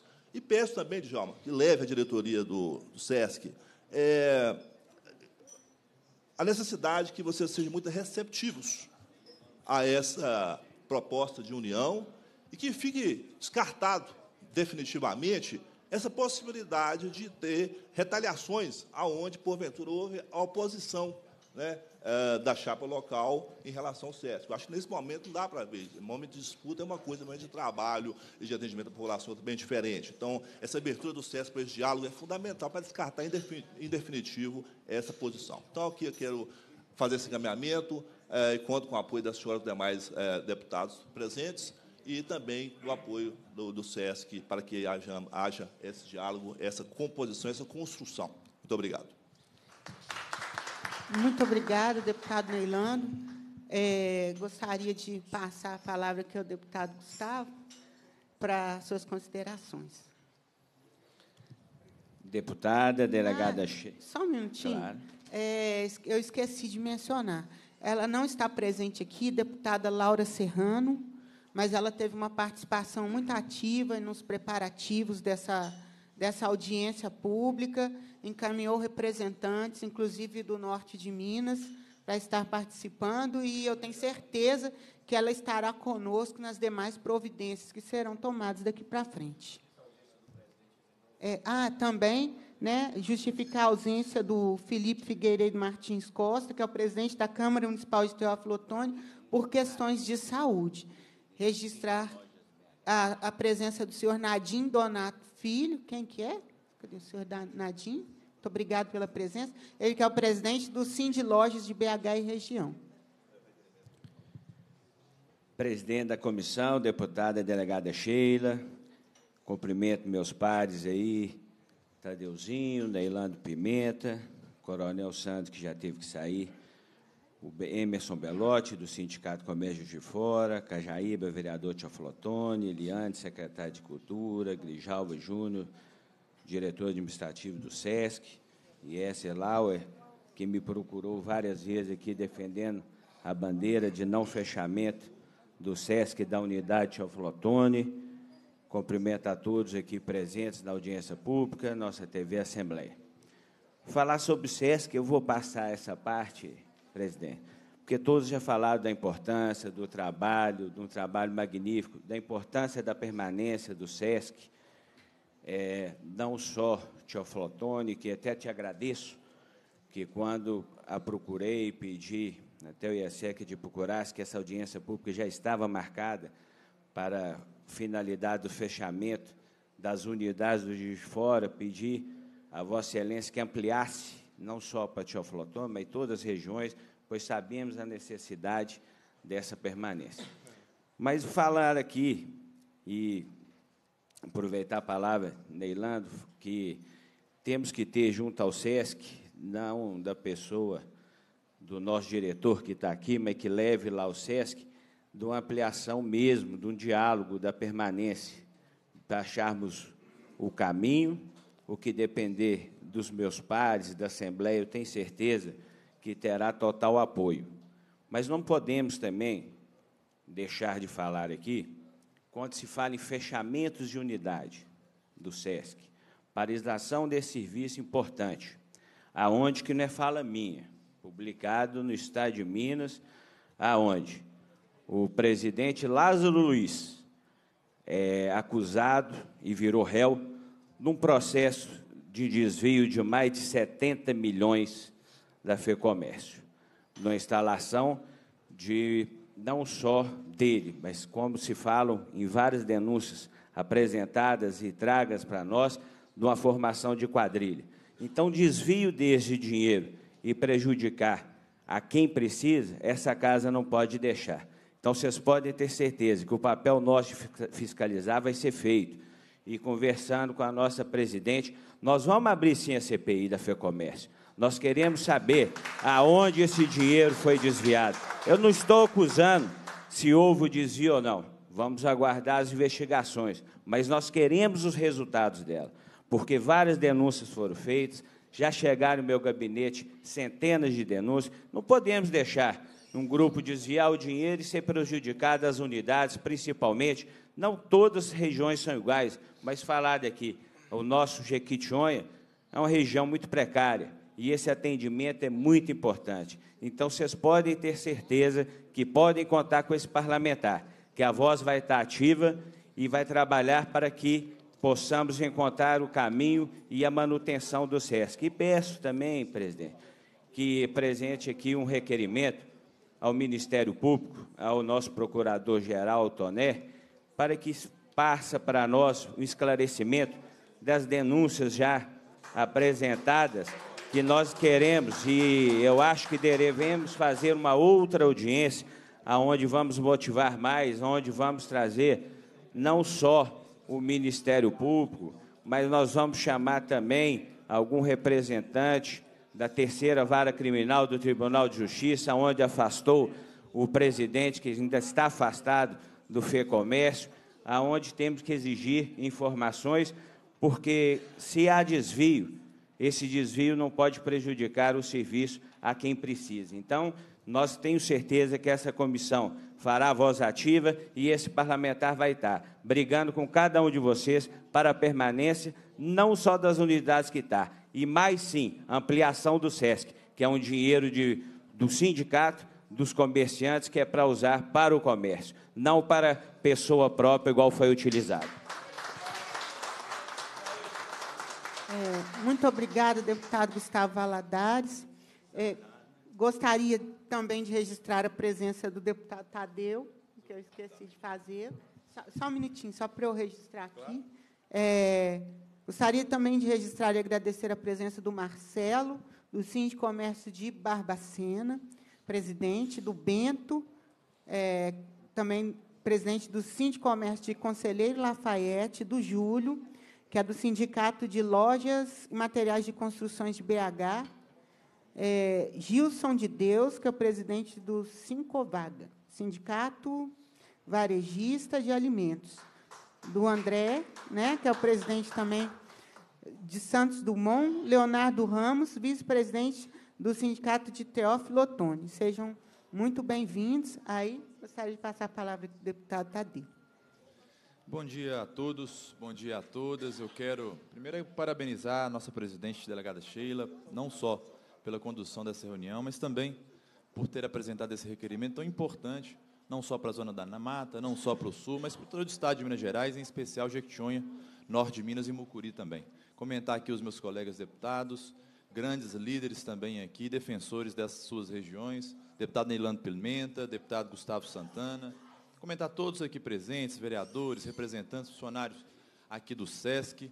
Quero aqui cumprimentar todos os vereadores presentes através, vejo aqui hoje o presidente da Câmara de Montes Claros, Marcos Nem. Seja bem-vindo, Marcos Nem, aqui. Parabéns pela sua defesa também. Comentar também todos os amigos aqui e defensores do SESC, através do, do nosso amigo e grande defensor Hermeneugildo, mais famoso como Belezão, também lá do SESC de Montes Claros. Obrigado pela presença, Belezão. Mas, enfim, Dizer aqui de forma muito breve, presidente, acho que todos já falaram em exaustão sobre o tema, mas dizer da minha tristeza de estar discutindo esse tema aqui hoje nessa audiência pública. E falo tristeza porque quando nós discutimos o fechamento ou a diminuição ou estrangulamento, posso falar assim, de regiões, de regionais do SESC no estado de Minas Gerais, Gustavo, nós estamos falando, de uma certa forma, em tirar ou em apagar parte da história dessas cidades. Grande parte dos SESCs, ou a totalidade dos SESCs que nós estamos discutindo aqui, eles fazem parte das histórias das cidades aonde eles estão. Eu falo pela minha região, lá no norte de Minas, posso falar de Montes Claros, posso falar lá de Januário, e entre tantas outras. Eu sei que grande parte da população tem uma parte da sua história naquele SESC.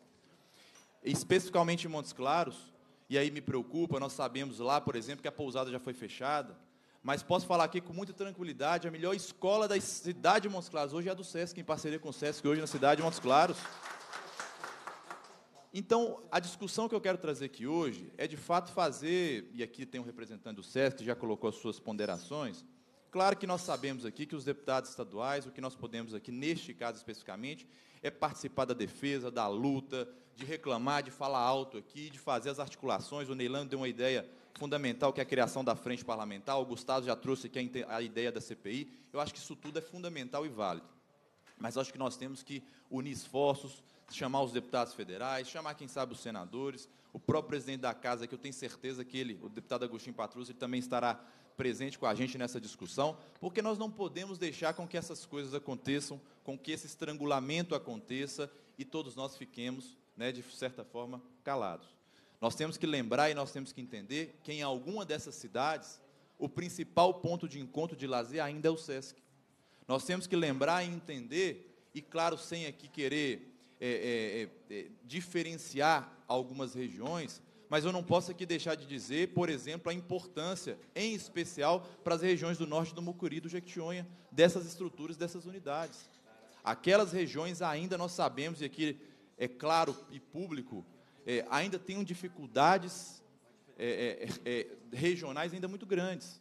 Não é à toa que, por exemplo, que a região faz parte da área mineira da Sudene e tem incentivos diferenciados, porque de fato lá tem um, um momento, passamos por um cenário difer diferente. E falo isso porque eu sou da região e sei o que estou falando, e, e sem querer retirar a importância da Zona da Mata, do sul de Minas, mas nós sabemos e eu sei a importância dessas estruturas para lá.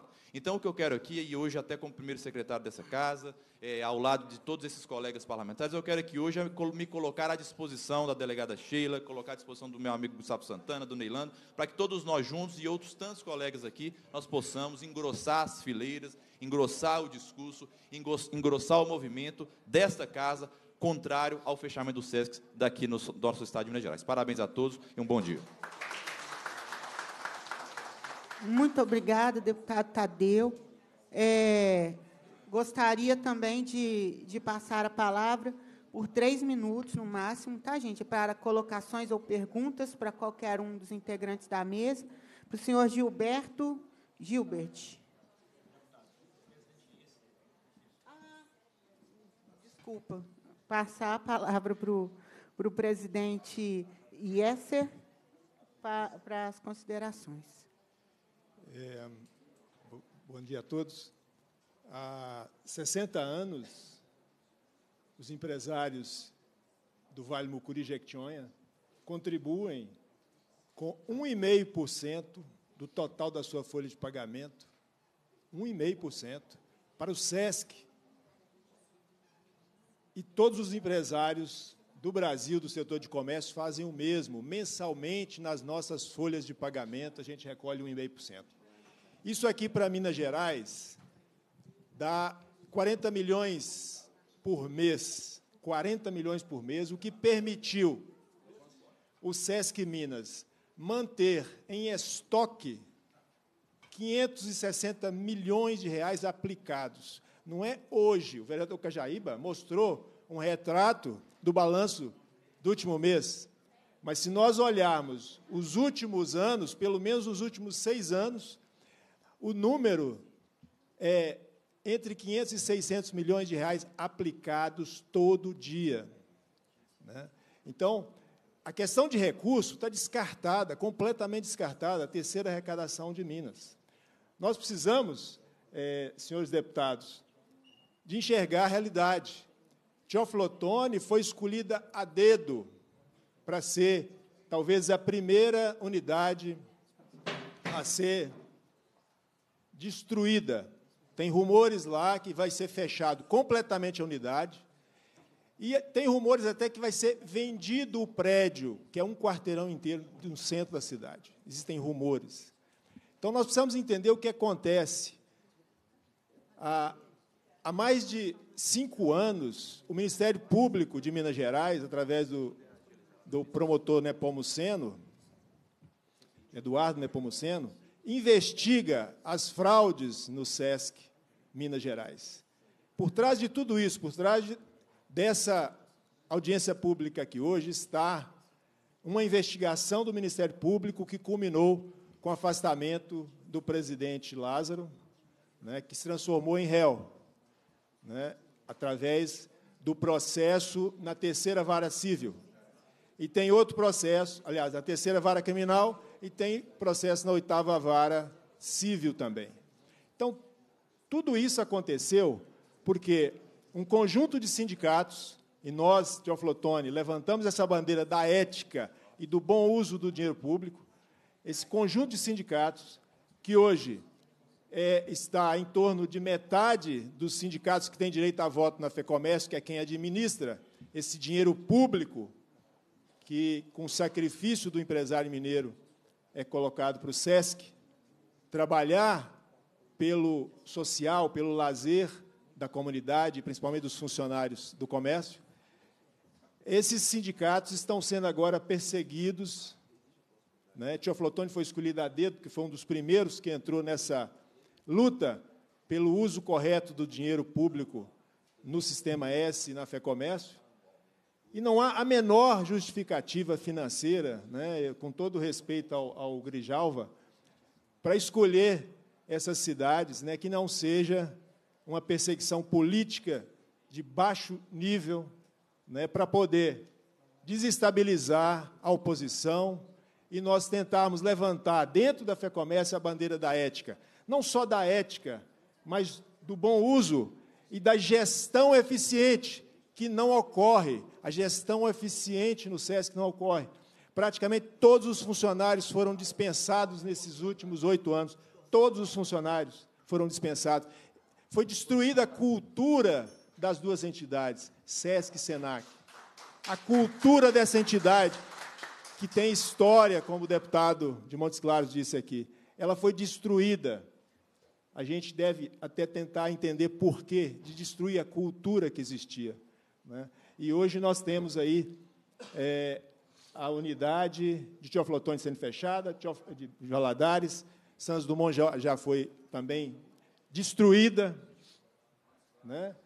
E nós precisamos reagir. O empresário de Minas, o empresário de Teoflotone, que nós estamos representando, não aceita que o nosso dinheiro seja tratado dessa forma. Nós não aceitamos. Nós vamos às últimas consequências. E essa casa aqui está de parabéns por ter nos acolhido por ter ouvido esse clamor do empresário, principalmente o suor do empresário pequeno, Grijalva, dos micro e pequenos, que são mais de 90%, que contribuem com 1,5% da folha para o SESC. Então, nós precisamos, sim, dessa CPI. Eu queria parabenizar os deputados mais uma vez por nos apoiar nessa CPI. E nós precisamos chegar a nível federal, sim, precisamos esclarecer todos esses desvios que é, já estão na justiça e precisamos da colaboração de toda a comunidade, porque o SESC é nosso, o SESC é de Minas. E, senhores, eu queria aproveitar para fazer mais uma denúncia aqui. O SESC Mineiro de Gruçaí, que o senhor disse que dá prejuízo, e SESC nenhum tem que dar lucro, o senhor pode me indicar algum que dê lucro? O senhor não vai conseguir achar é, o Sesc Mineiro de Gruçaí tem um patrimônio do povo mineiro. É o Museu Ferroviário. São 12 locomotivas reconstruídas. São, tem uma linha férrea de quase 16 quilômetros interno a essa fazenda de um milhão de metros quadrados. É patrimônio do povo. Esse patrimônio, nesse momento, está sendo desviado, desviado para o Piauí, que é a terra do interventor que está aqui hoje, desviado para o Rio de Janeiro e para Brasília. As locomotivas, deputado e deputada, que são do povo mineiro, suor do empresário mineiro que paga todo mês 1,5%, foram recuperadas. É um patrimônio histórico do Brasil, não só de Minas. As, as Maria Fumaças, é, locomotivas centenárias, que, que estão sendo hoje transportadas. Uma delas já saiu do Piauí, tem um vídeo já mostrando isso. Minas Gerais não pode aceitar, o governo de Minas não pode aceitar. Se tem que doar, tem que doar para Minas, não é para o Piauí. O dinheiro é nosso, o dinheiro é suado do, do empresário mineiro. Então, então, a gente quer, mais uma vez, agradecer essa casa por estar acolhendo a gente, acolhendo a nossa luta com tanta boa vontade. Muito obrigado. Muito obrigada. É, agora, sim, né, gostaria de convidar o Gilberto Gilbert, ele para fazer a sua pergunta, e logo em seguida o senhor Nadinho Nonato Filho. Tá? Bom, gente, é, eu, eu não sou funcionário do SESC. Eu é, trabalhei muitos anos prestando serviço para o SESC. Eu tenho um orgulho enorme, uma entidade fantástica que era o SESC. Eu criei o projeto Minas ao Luar. Esse projeto começou pequeno e se transformou no maior projeto cultural que rodava Minas Gerais inteiro. E eu fiz um cálculo nos, nos 18 anos em que eu montei o projeto, nós demos uma volta de quilometragem em torno da Terra. Quando a, a gestão entra, é, é, muito natural é, eu perder, é, a, embora um projeto era todo produzido por mim, desde a idealização inicial, eu perdi o projeto para outro, outros empresários. Só que eu gastei, é, o custo do projeto, em média, era 40 mil reais. Era produzido dentro do SESC e se contratava os artistas, que eram cereceiros, super baratos, conjunto, música e o ônibus. E as prefeituras doavam a, a hospedagem. De repente, eu sou chamado, depois que eu saí do SESC, pelo Eduardo Nepomuceno, para levar notas fiscais em que eu apresentava para o SESC. 40 mil reais é, era o, o custo máximo entre a minha parte, artistas, ônibus e etc. O que, é que aconteceu? A diferença que ficou, olha que ele está falando em gestão, está falando em economia, para cada cidade, o custo foi para 280 mil reais. 280 mil reais. E com detalhe, eu, é, e com detalhe, entregue para uma empresa fora do SESC, que era a Panda, que era que geria tudo, e virou uma, uma coisa melogomaníaca. O projeto diminuiu de tempo de apresentação, diminuiu de, de, de, de, de, é, de, de seresteiro, que não tem mais seresteiros, virou um outro projeto. E foi diminuindo, diminuindo até acabar. E, pra, e aumentando o valor, desesperadamente. Fora isso, eu vi outros projetos deixarem de existir. Tinha um Gira Praça, que era de uma vez por mês, que levava, durante a semana, atividades para a população do, do, do, da periferia de Belo Horizonte. Aulas de, de música, aula de culinária, aula de, de pintura, ensinava o pessoal isso, formando pessoas. Olha, como, como é, fazer bolo, bombons, etc. Deixou de existir. Era um projeto para atender a, população da periferia. Aí vem, o que, que você vem pensar? Quando eu vi amigos do SESC sendo demitidos, que é muito natural quando entra uma diretoria nova, é, manda, trocar cargos de confiança. O que, que eles fizeram? Mandaram todos os funcionários embora, até assessorista, não ficou um para contar a história. Ficou um lá, na época, porque quando tinha problema na Justiça do Trabalho, precisava dele para defender mas tirou todos, desmobilizou o SESC inteiro e colocou enxovada de gente que triplicou o número de funcionários. Essa é a gestão que ele está falando de economia. Né? E outra coisa, pessoas que tinham o único trabalho da vida deles era o SESC. E sentia na pele, eu vi pessoas que, que passaram mal, ficaram numa situação péssima. Você já pensou, você trabalhar durante trinta e tantos anos numa empresa, 29 anos, e ser demitido? Absurdo que ocorreu. Isso foi uma perseguição a todos. Ele não queria deixar, era testemunha pelos malfeitos que iam acontecendo. É isso que não queria. É esse aí que eu tenho que falar. E quando eu vejo também a biblioteca do SESC, naquele é, antigo banco hipotecário, não é? O que, que aconteceu? Fechou a biblioteca, gente, a segunda melhor biblioteca que tinha em Minas Gerais, depois da, da, da nossa, do, do, Estado. Fechou a biblioteca, foi fechando outros projetos. Eu não posso citar, não são inúmeros projetos. Eram projetos em que a direção do SESC tinha o maior cuidado de atender a população da periferia. Acabou. Né? Infelizmente, a gente está vendo isso. Eu tive em Gruçaí uma vez, vi aquelas, igual está falando aqui, aquelas máquinas maravilhosas, um, um passeio lindo, turístico, representa coisa bem mineira, né? Locomotiva é bem mineiro. Estão doando as locomotivas, é brincadeira, né? Obrigado, é só isso que eu queria falar. Obrigada, senhor Gilberto. Agora o senhor Nadim Donato. É, presidente do Cindy Lojas de BH e região. Né? Muito obrigado, presidente. Queria cumprimentar primeiro o deputado Gustavo Santana, que eu cumprimento aqui a todos os presidentes e autoridades, a você, delegada Sheila, que eu cumprimento todas as mulheres e a força das mulheres aí. Eu peço desculpas por ter chegado tarde hoje, mas a Federação do Comércio marcou uma reunião é, de uma comissão que nós temos lá para discutir um imóvel que nós temos na Raja Gabaglia, que, no valor de 20 milhões de reais. E já fizemos mais de oito, nove reuniões preocupados com isso. Nós estamos discutindo o que fazer com 20 milhões da Federação do Comércio num momento tão delicado que há mais de seis, sete anos a Federação do Comércio e o Sistema S passa por um. Então, qualquer e todo cuidado é importante.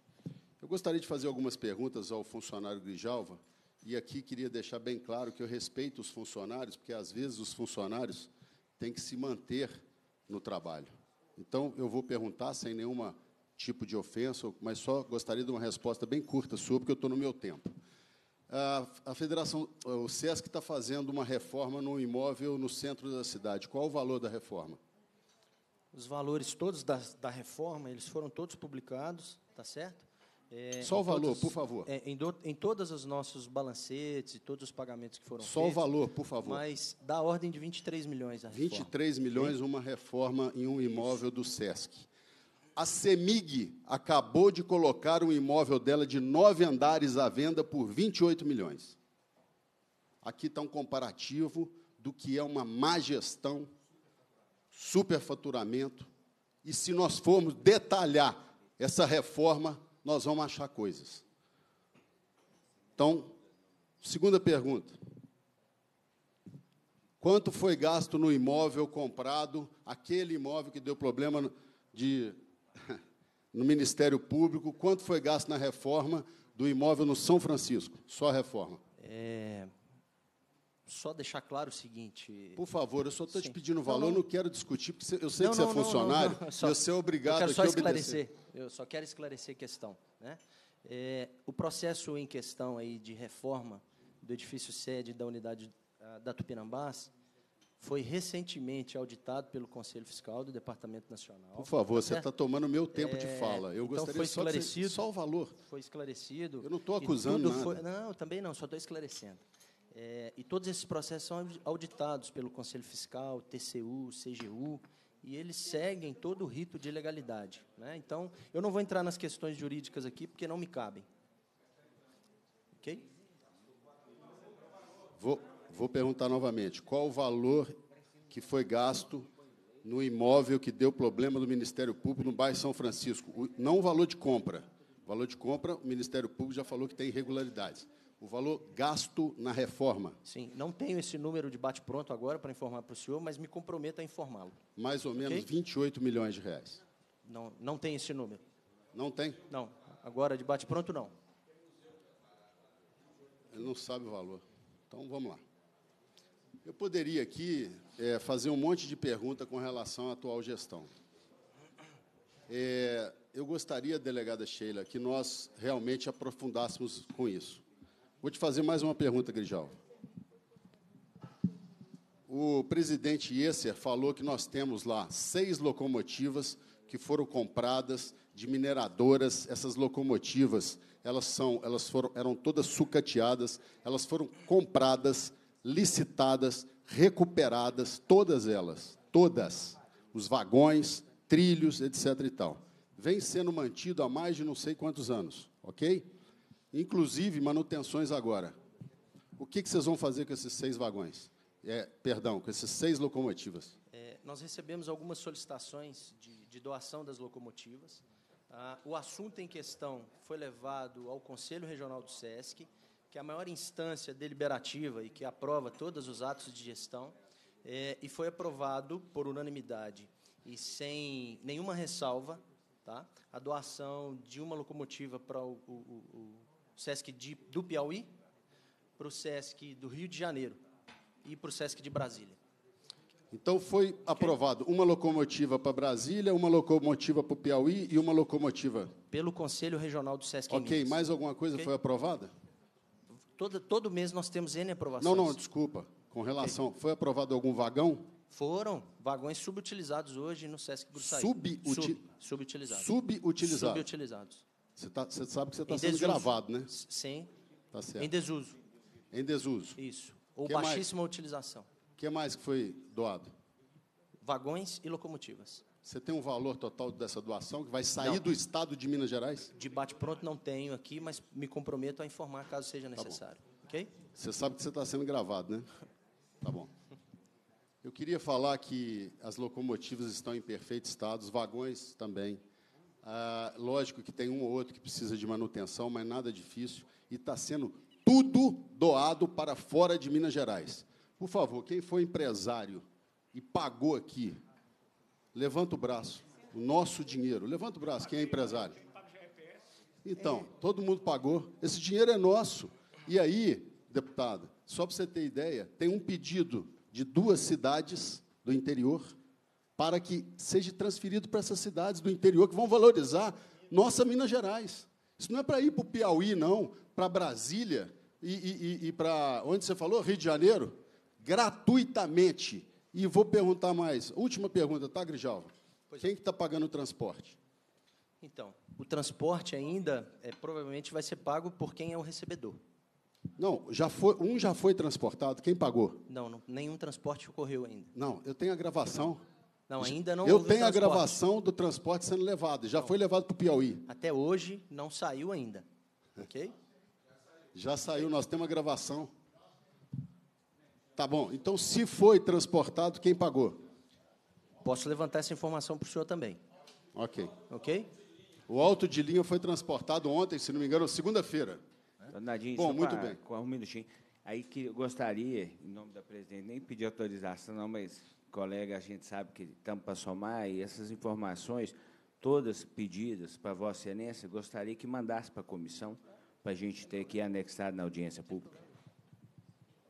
Ok, volta volta a falar. Bom, é isso aí. Muito obrigado, tá? Queria agradecer, queria dizer aos parlamentares aí, né? tanto os vereadores quanto os deputados estaduais e os federais que estão nos ajudando, eu queria dar os parabéns, porque sem a ajuda de vocês, nós não vamos conseguir, porque é muito dinheiro contra nós. Obrigada, senhor, senhor Gilberto.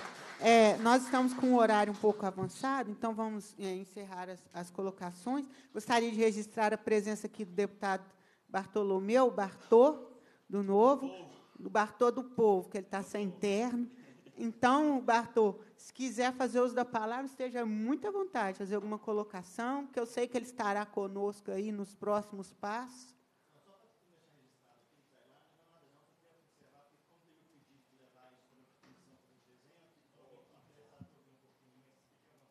Tá bom, muito obrigada, tá?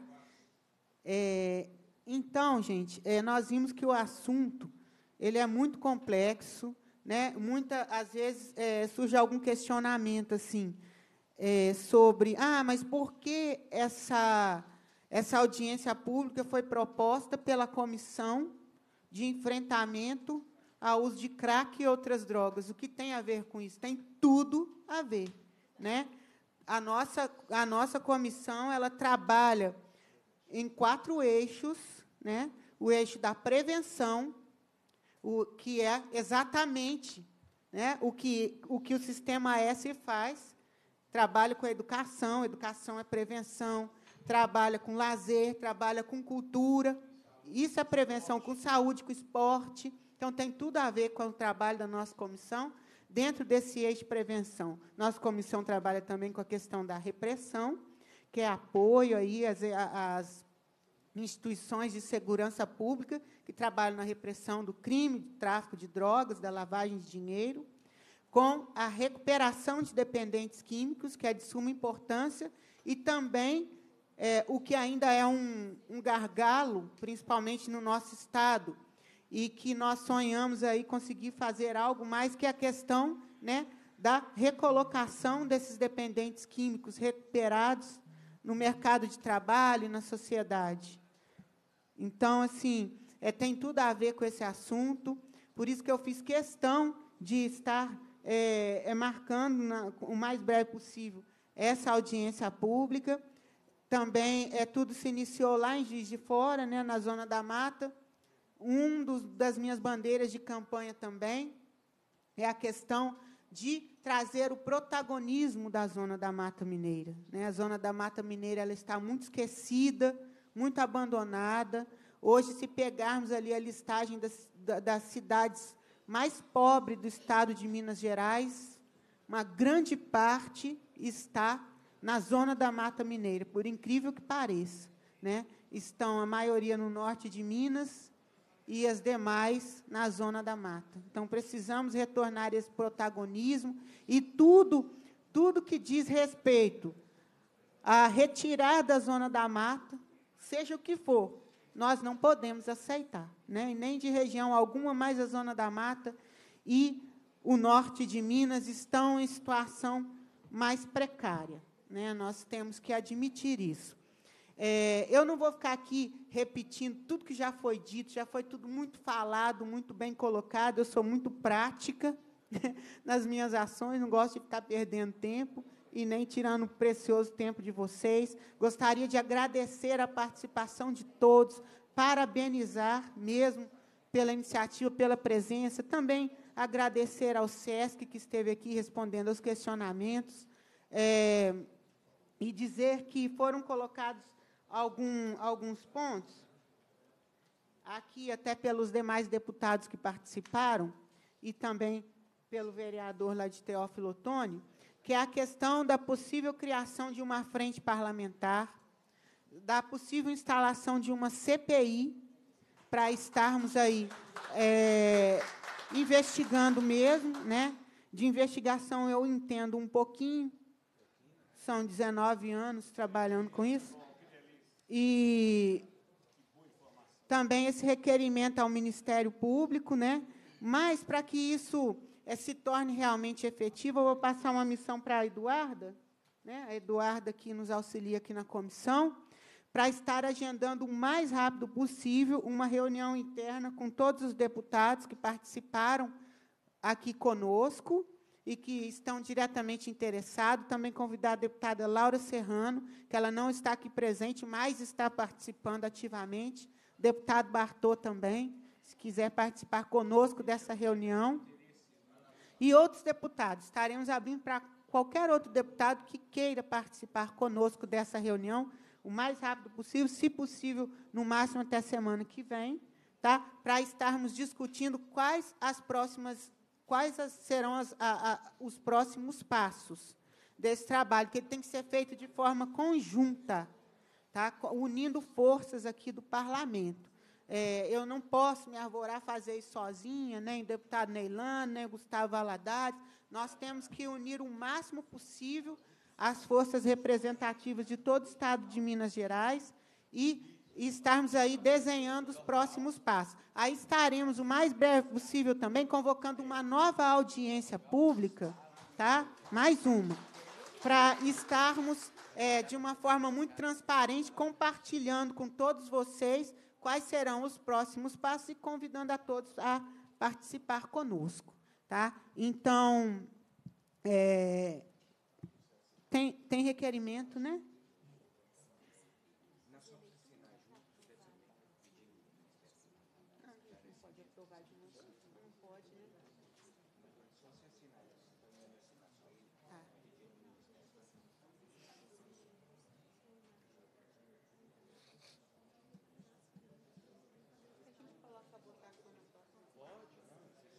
Eu vou fazer a leitura de dois requerimentos do deputado Gustavo Santana É, o primeiro dele é que seja encaminhado ao Procurador-Geral de Justiça do Ministério Público de Minas Gerais, em Belo Horizonte, pedido de informações sobre as denúncias recebidas acerca do recente fechamento de unidades do SESC Minas Gerais no Estado, entre elas as unidades localizadas na Zona da Mata e no município de Teófilo Otoni.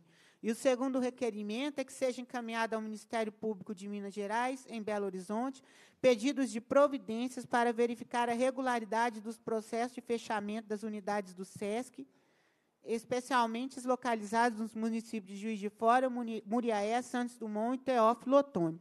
Então, na próxima quarta-feira, às 10 horas da manhã, é, em reunião é, ordinária, estaremos colocando em pauta para apreciação e votação esses dois requerimentos aqui. É, no momento, nós não temos quórum para a aprovação do requerimento. O deputada, só para é, já está na etapa conclusiva, nós que é, encaminhamos requerimentos solicitando a instauração da, da, da CPI, no, amanhã vai, so, chega a correspondência, foi aprovado por unanimidade por 19 vereadores, com base em toda a investigação que já tem sido feita desde 2013. Então, nós vamos formalizar também junto ao gabinete da deputada, para que nós tenhamos, realmente, venhamos atender à vontade de todos os, os sindicatos que encontram nessa situação de perseguição. Então, eu, o presidente Felipe Costa traria, mas não pôde viajar, mas nós vamos encaminhar o mais rápido possível para o gabinete da, de Vossa Excelência. Ok. Mais uma vez, né? Deputado, mais alguma me, colocação? Me, permita, me permita, por gentileza, o, o, presidente do Sindivale, Alexandre Magno, ele solicitou a palavra, três minutos, por gentileza? Sim, pode fazer isso.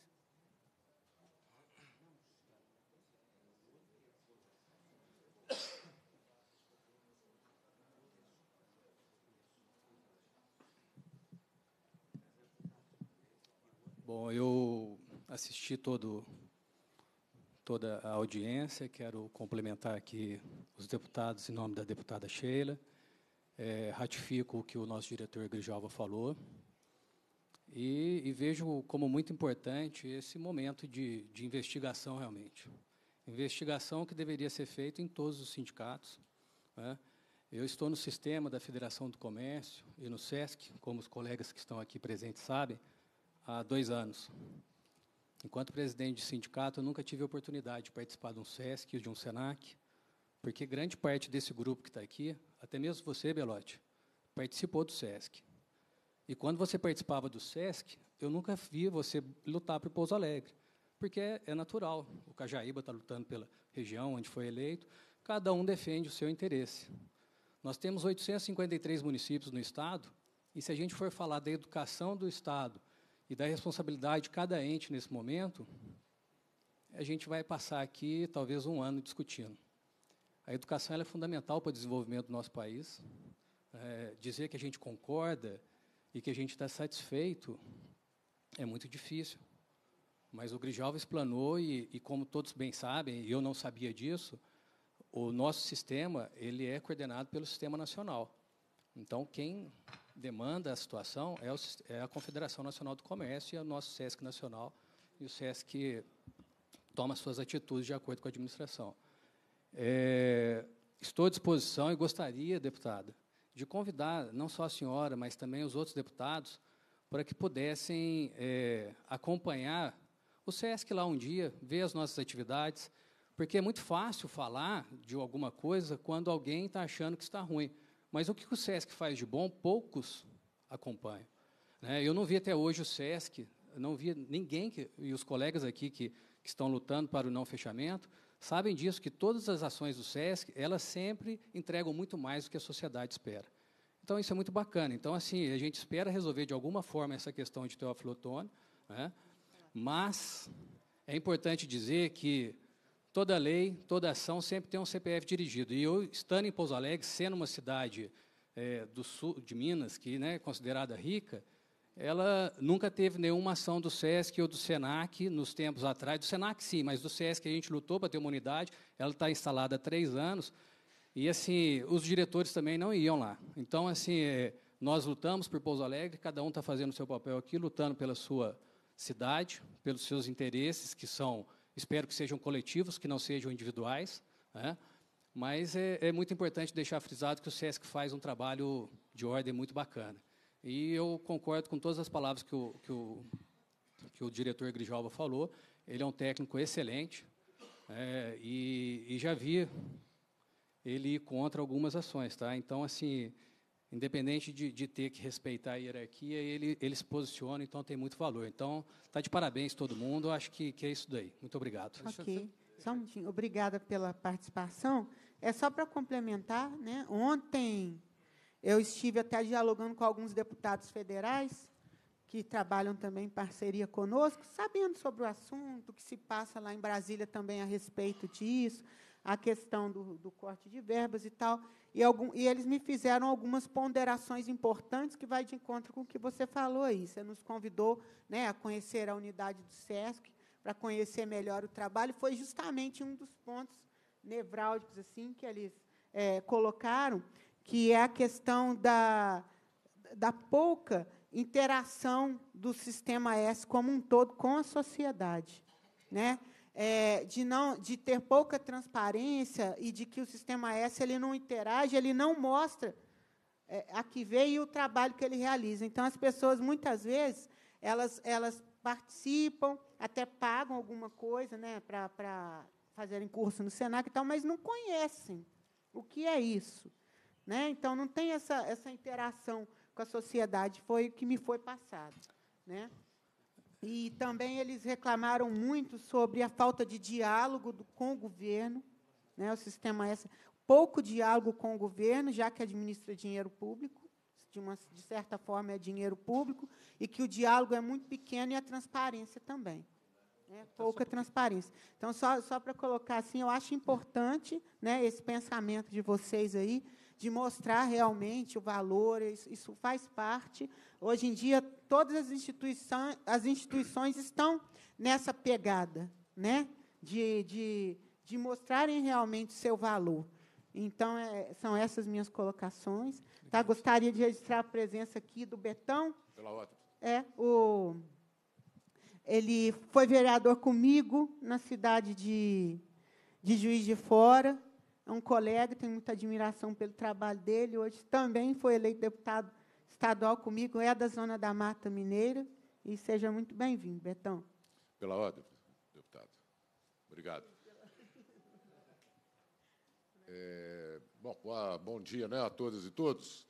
Eu estou, na verdade, participando de uma outra audiência pública que está ocorrendo no, no plenário Zé de Alencar, um plenário grande, é, que está tratando sobre o fechamento ou a reabertura né, da, da, porta de urgência e emergência do Hospital Doutor João Penido, lá em Juiz de Fora, que atende, né, quem é da região aí, que atende diversas cidades, né, e eu que sou autor da audiência, e infelizmente essa audiência aqui caiu no mesmo horário. Então, eu pedi licença né, para poder comparecer, né, só para é, dar uma satisfação para os senhores e senhoras, e dizer que é, nós vamos estar empenhados nessa discussão também. Eu, inclusive, como sindicalista, né, nós somos, aqui, por exemplo, no Sesc Venda Nova, é, que não está ainda nesse processo, mas pode vir a ter um fechamento também, né? é muito utilizado né, para ser feito congressos, é um equipamento extraordinário. O de Juiz de Fora também, que já foi muito utilizado, é também um, equipamento extraordinário, né, uma série de empregos que são gerados, é, e que está nesse desmonte, né, um desmonte que vem sendo feito já há algum tempo, desde que o governo Temer assumiu, né, e uma parte do financiamento do sistema S vem também pelo imposto sindical. Né, então, esse desmonte vem sendo feito no sistema que está atingindo. E eu acho que nós deveríamos fazer uma discussão né, com todos os representantes possíveis, não sei se estão todos aqui, não pude acompanhar, né, para tentar reverter esse quadro. É, uma, é, é, uma, é um, um, equipamento muito caro né, e que nós deveríamos é, preservá-lo. Né? Estou vendo aqui meu amigo de longa data, parente, né, Zé Imbrois? Parente, nós somos quase parentes da mesma região da Itália, e que foi gerente lá do SESC é, de Juiz de Fora, né, o César Pousada, durante muitos e muitos anos lá, que fez um trabalho excelente lá na, no César Venda 9, que man, conseguia manter né, aquela, a, a, aquele equipamento daquela forma, né, lindo como é. Então, obrigado pela possibilidade de estar e vou ter que retornar a próxima, lá para da outra audiência pública. Eu que agradeço a participação do Betão e eu gostaria de pedir licença também aos senhores, passar a palavra ao, à presidência ao deputado Gustavo Valadares, Gustavo Santana. eu esqueci. Deputada, é só, é só, muito Gustavo. É porque eu fui citado. Isso, eu pode. só. É só para eu poder ah, ir lá um pouquinho também na audiência pública, presidido pelo, é, convocado pelo vereador Betão, que também né, faz parte lá da, de, da, daquela mesma filosofia, né? Que a Zona da Mata pode, mas perder nada. Então, gente, muito obrigada aí a todos, muito obrigada pela presença, que Deus nos abençoe, abençoe a vida de todos vocês.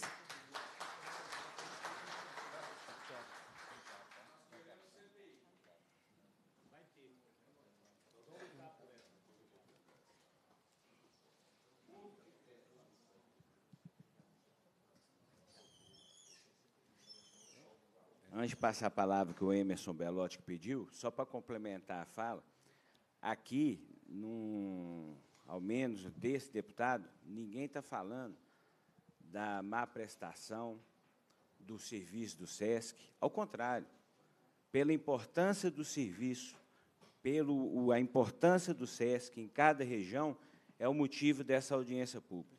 O que chegou para nós foram várias denúncias, e nós temos que apurar que é o nosso papel aqui, como falado até por minha palavra, que matérias de jornais que chegaram de desvios de dinheiro da FEComércio e tudo, aonde também pode inviabilizar ou má aplicação dos recursos ou desvio de recursos no próprio SES, mas isso não vai ser eu que vou responder. Nós vamos fazer o nosso papel de investigar e já está acertado que montaremos sim a CPI, mas uma CPI séria, para saber todos os dados e quem deve não teme. Então, passa agora a palavra para o Emerson Belotti. É, bom dia. Né? Bom dia. Boa tarde, né? Ainda dá tempo de ser um bom dia. É, boa tarde. Mas, na verdade, é o seguinte, é, eu só queria citar, Alexandre, porque você é o presidente de Pouso Alegre, queria reportar um pouco aí ao, ao contexto, é que hoje, graças a Deus, Pouso Alegre é filiado à FEComércio muito, muito por esses presidentes que hoje estão aqui, e que apoiaram você, a Pouso Alegre ser filiado.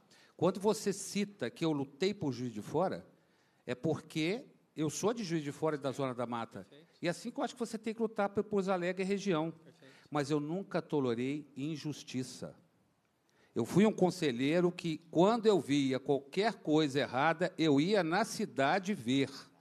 Então eu pergunto, qual conselheiro né, da, do SESC ou você mesmo, se foi em Juiz de Fora, você foi em Juiz de Fora ver o que, que aconteceu, você foi em Almenara, você foi em Teófilo Então, é, então, na verdade, sabe, eu fico muito preocupado, eu fico muito preocupado, Alexandre, porque, ó, deixa eu terminar a fala. Eu fico muito preocupado porque o Alexandre é um bom presidente de Pouso Alegre. Diferente às nossas divergências, eu sei é, manifestar que ele é um bom presidente pode estar mal orientado, com mau conhecimento, porque não é um presidente que tem 11 anos de experiência na FEComércio como eu tive. Mas eu vejo, Alexandre, que você deve tomar muito cuidado, cara, porque eu acho você do bem. Porque eu acho que você deveria ver as unidades antes de chegar num, num conselho e votar a favor ou contra. Eu acho que vocês precisam de mais conhecimento. Lá no Conselho do SESC tem muita informação e pouco conhecimento. Isso é a pior coisa que tem. Talvez a melhor coisa que tem para alguns, mas é para mim a pior coisa que tem. Não lhe dar conhecimento. Acho que você deve lutar pela sua região, porque você está lá para isso. Você foi eleito pelos empresários do comércio de lá. A gente nunca pode esquecer da nossa origem. E eu vou defender sempre de Fora, porque os diretores que estão comigo lá foram eleitos pelos empresários de Juiz de Fora. Eu não posso esquecer a minha origem. Agora, não vou tolerar injustiça, seja com o Juiz de Fora, seja com o Teófilo Otoni, seja com o Pouso Alegre, porque amanhã, se quiserem, Alexandre, porque de repente você não é mais diretor, pode, pode ser diferente a coisa, e pode ser que eu esteja conselheiro, você pode ter certeza, não acontecerá injustiça com a sua cidade. Isso é palavra não só do Emerson Belotti, mas de qualquer diretor que foi conselheiro de lá. Então, quero deixar claro, porque eu fui citado e eu, eu, nunca vou deixar de reconhecer que eu sou uma pessoa bairrista, gosto da minha região, gosto da Zona da Mata. Como é que eu moro na Zona da Mata e vou gostar do Estado de São Paulo, ou do, do Estado do Piauí? Né? Eu tenho que gostar da minha região. Tá?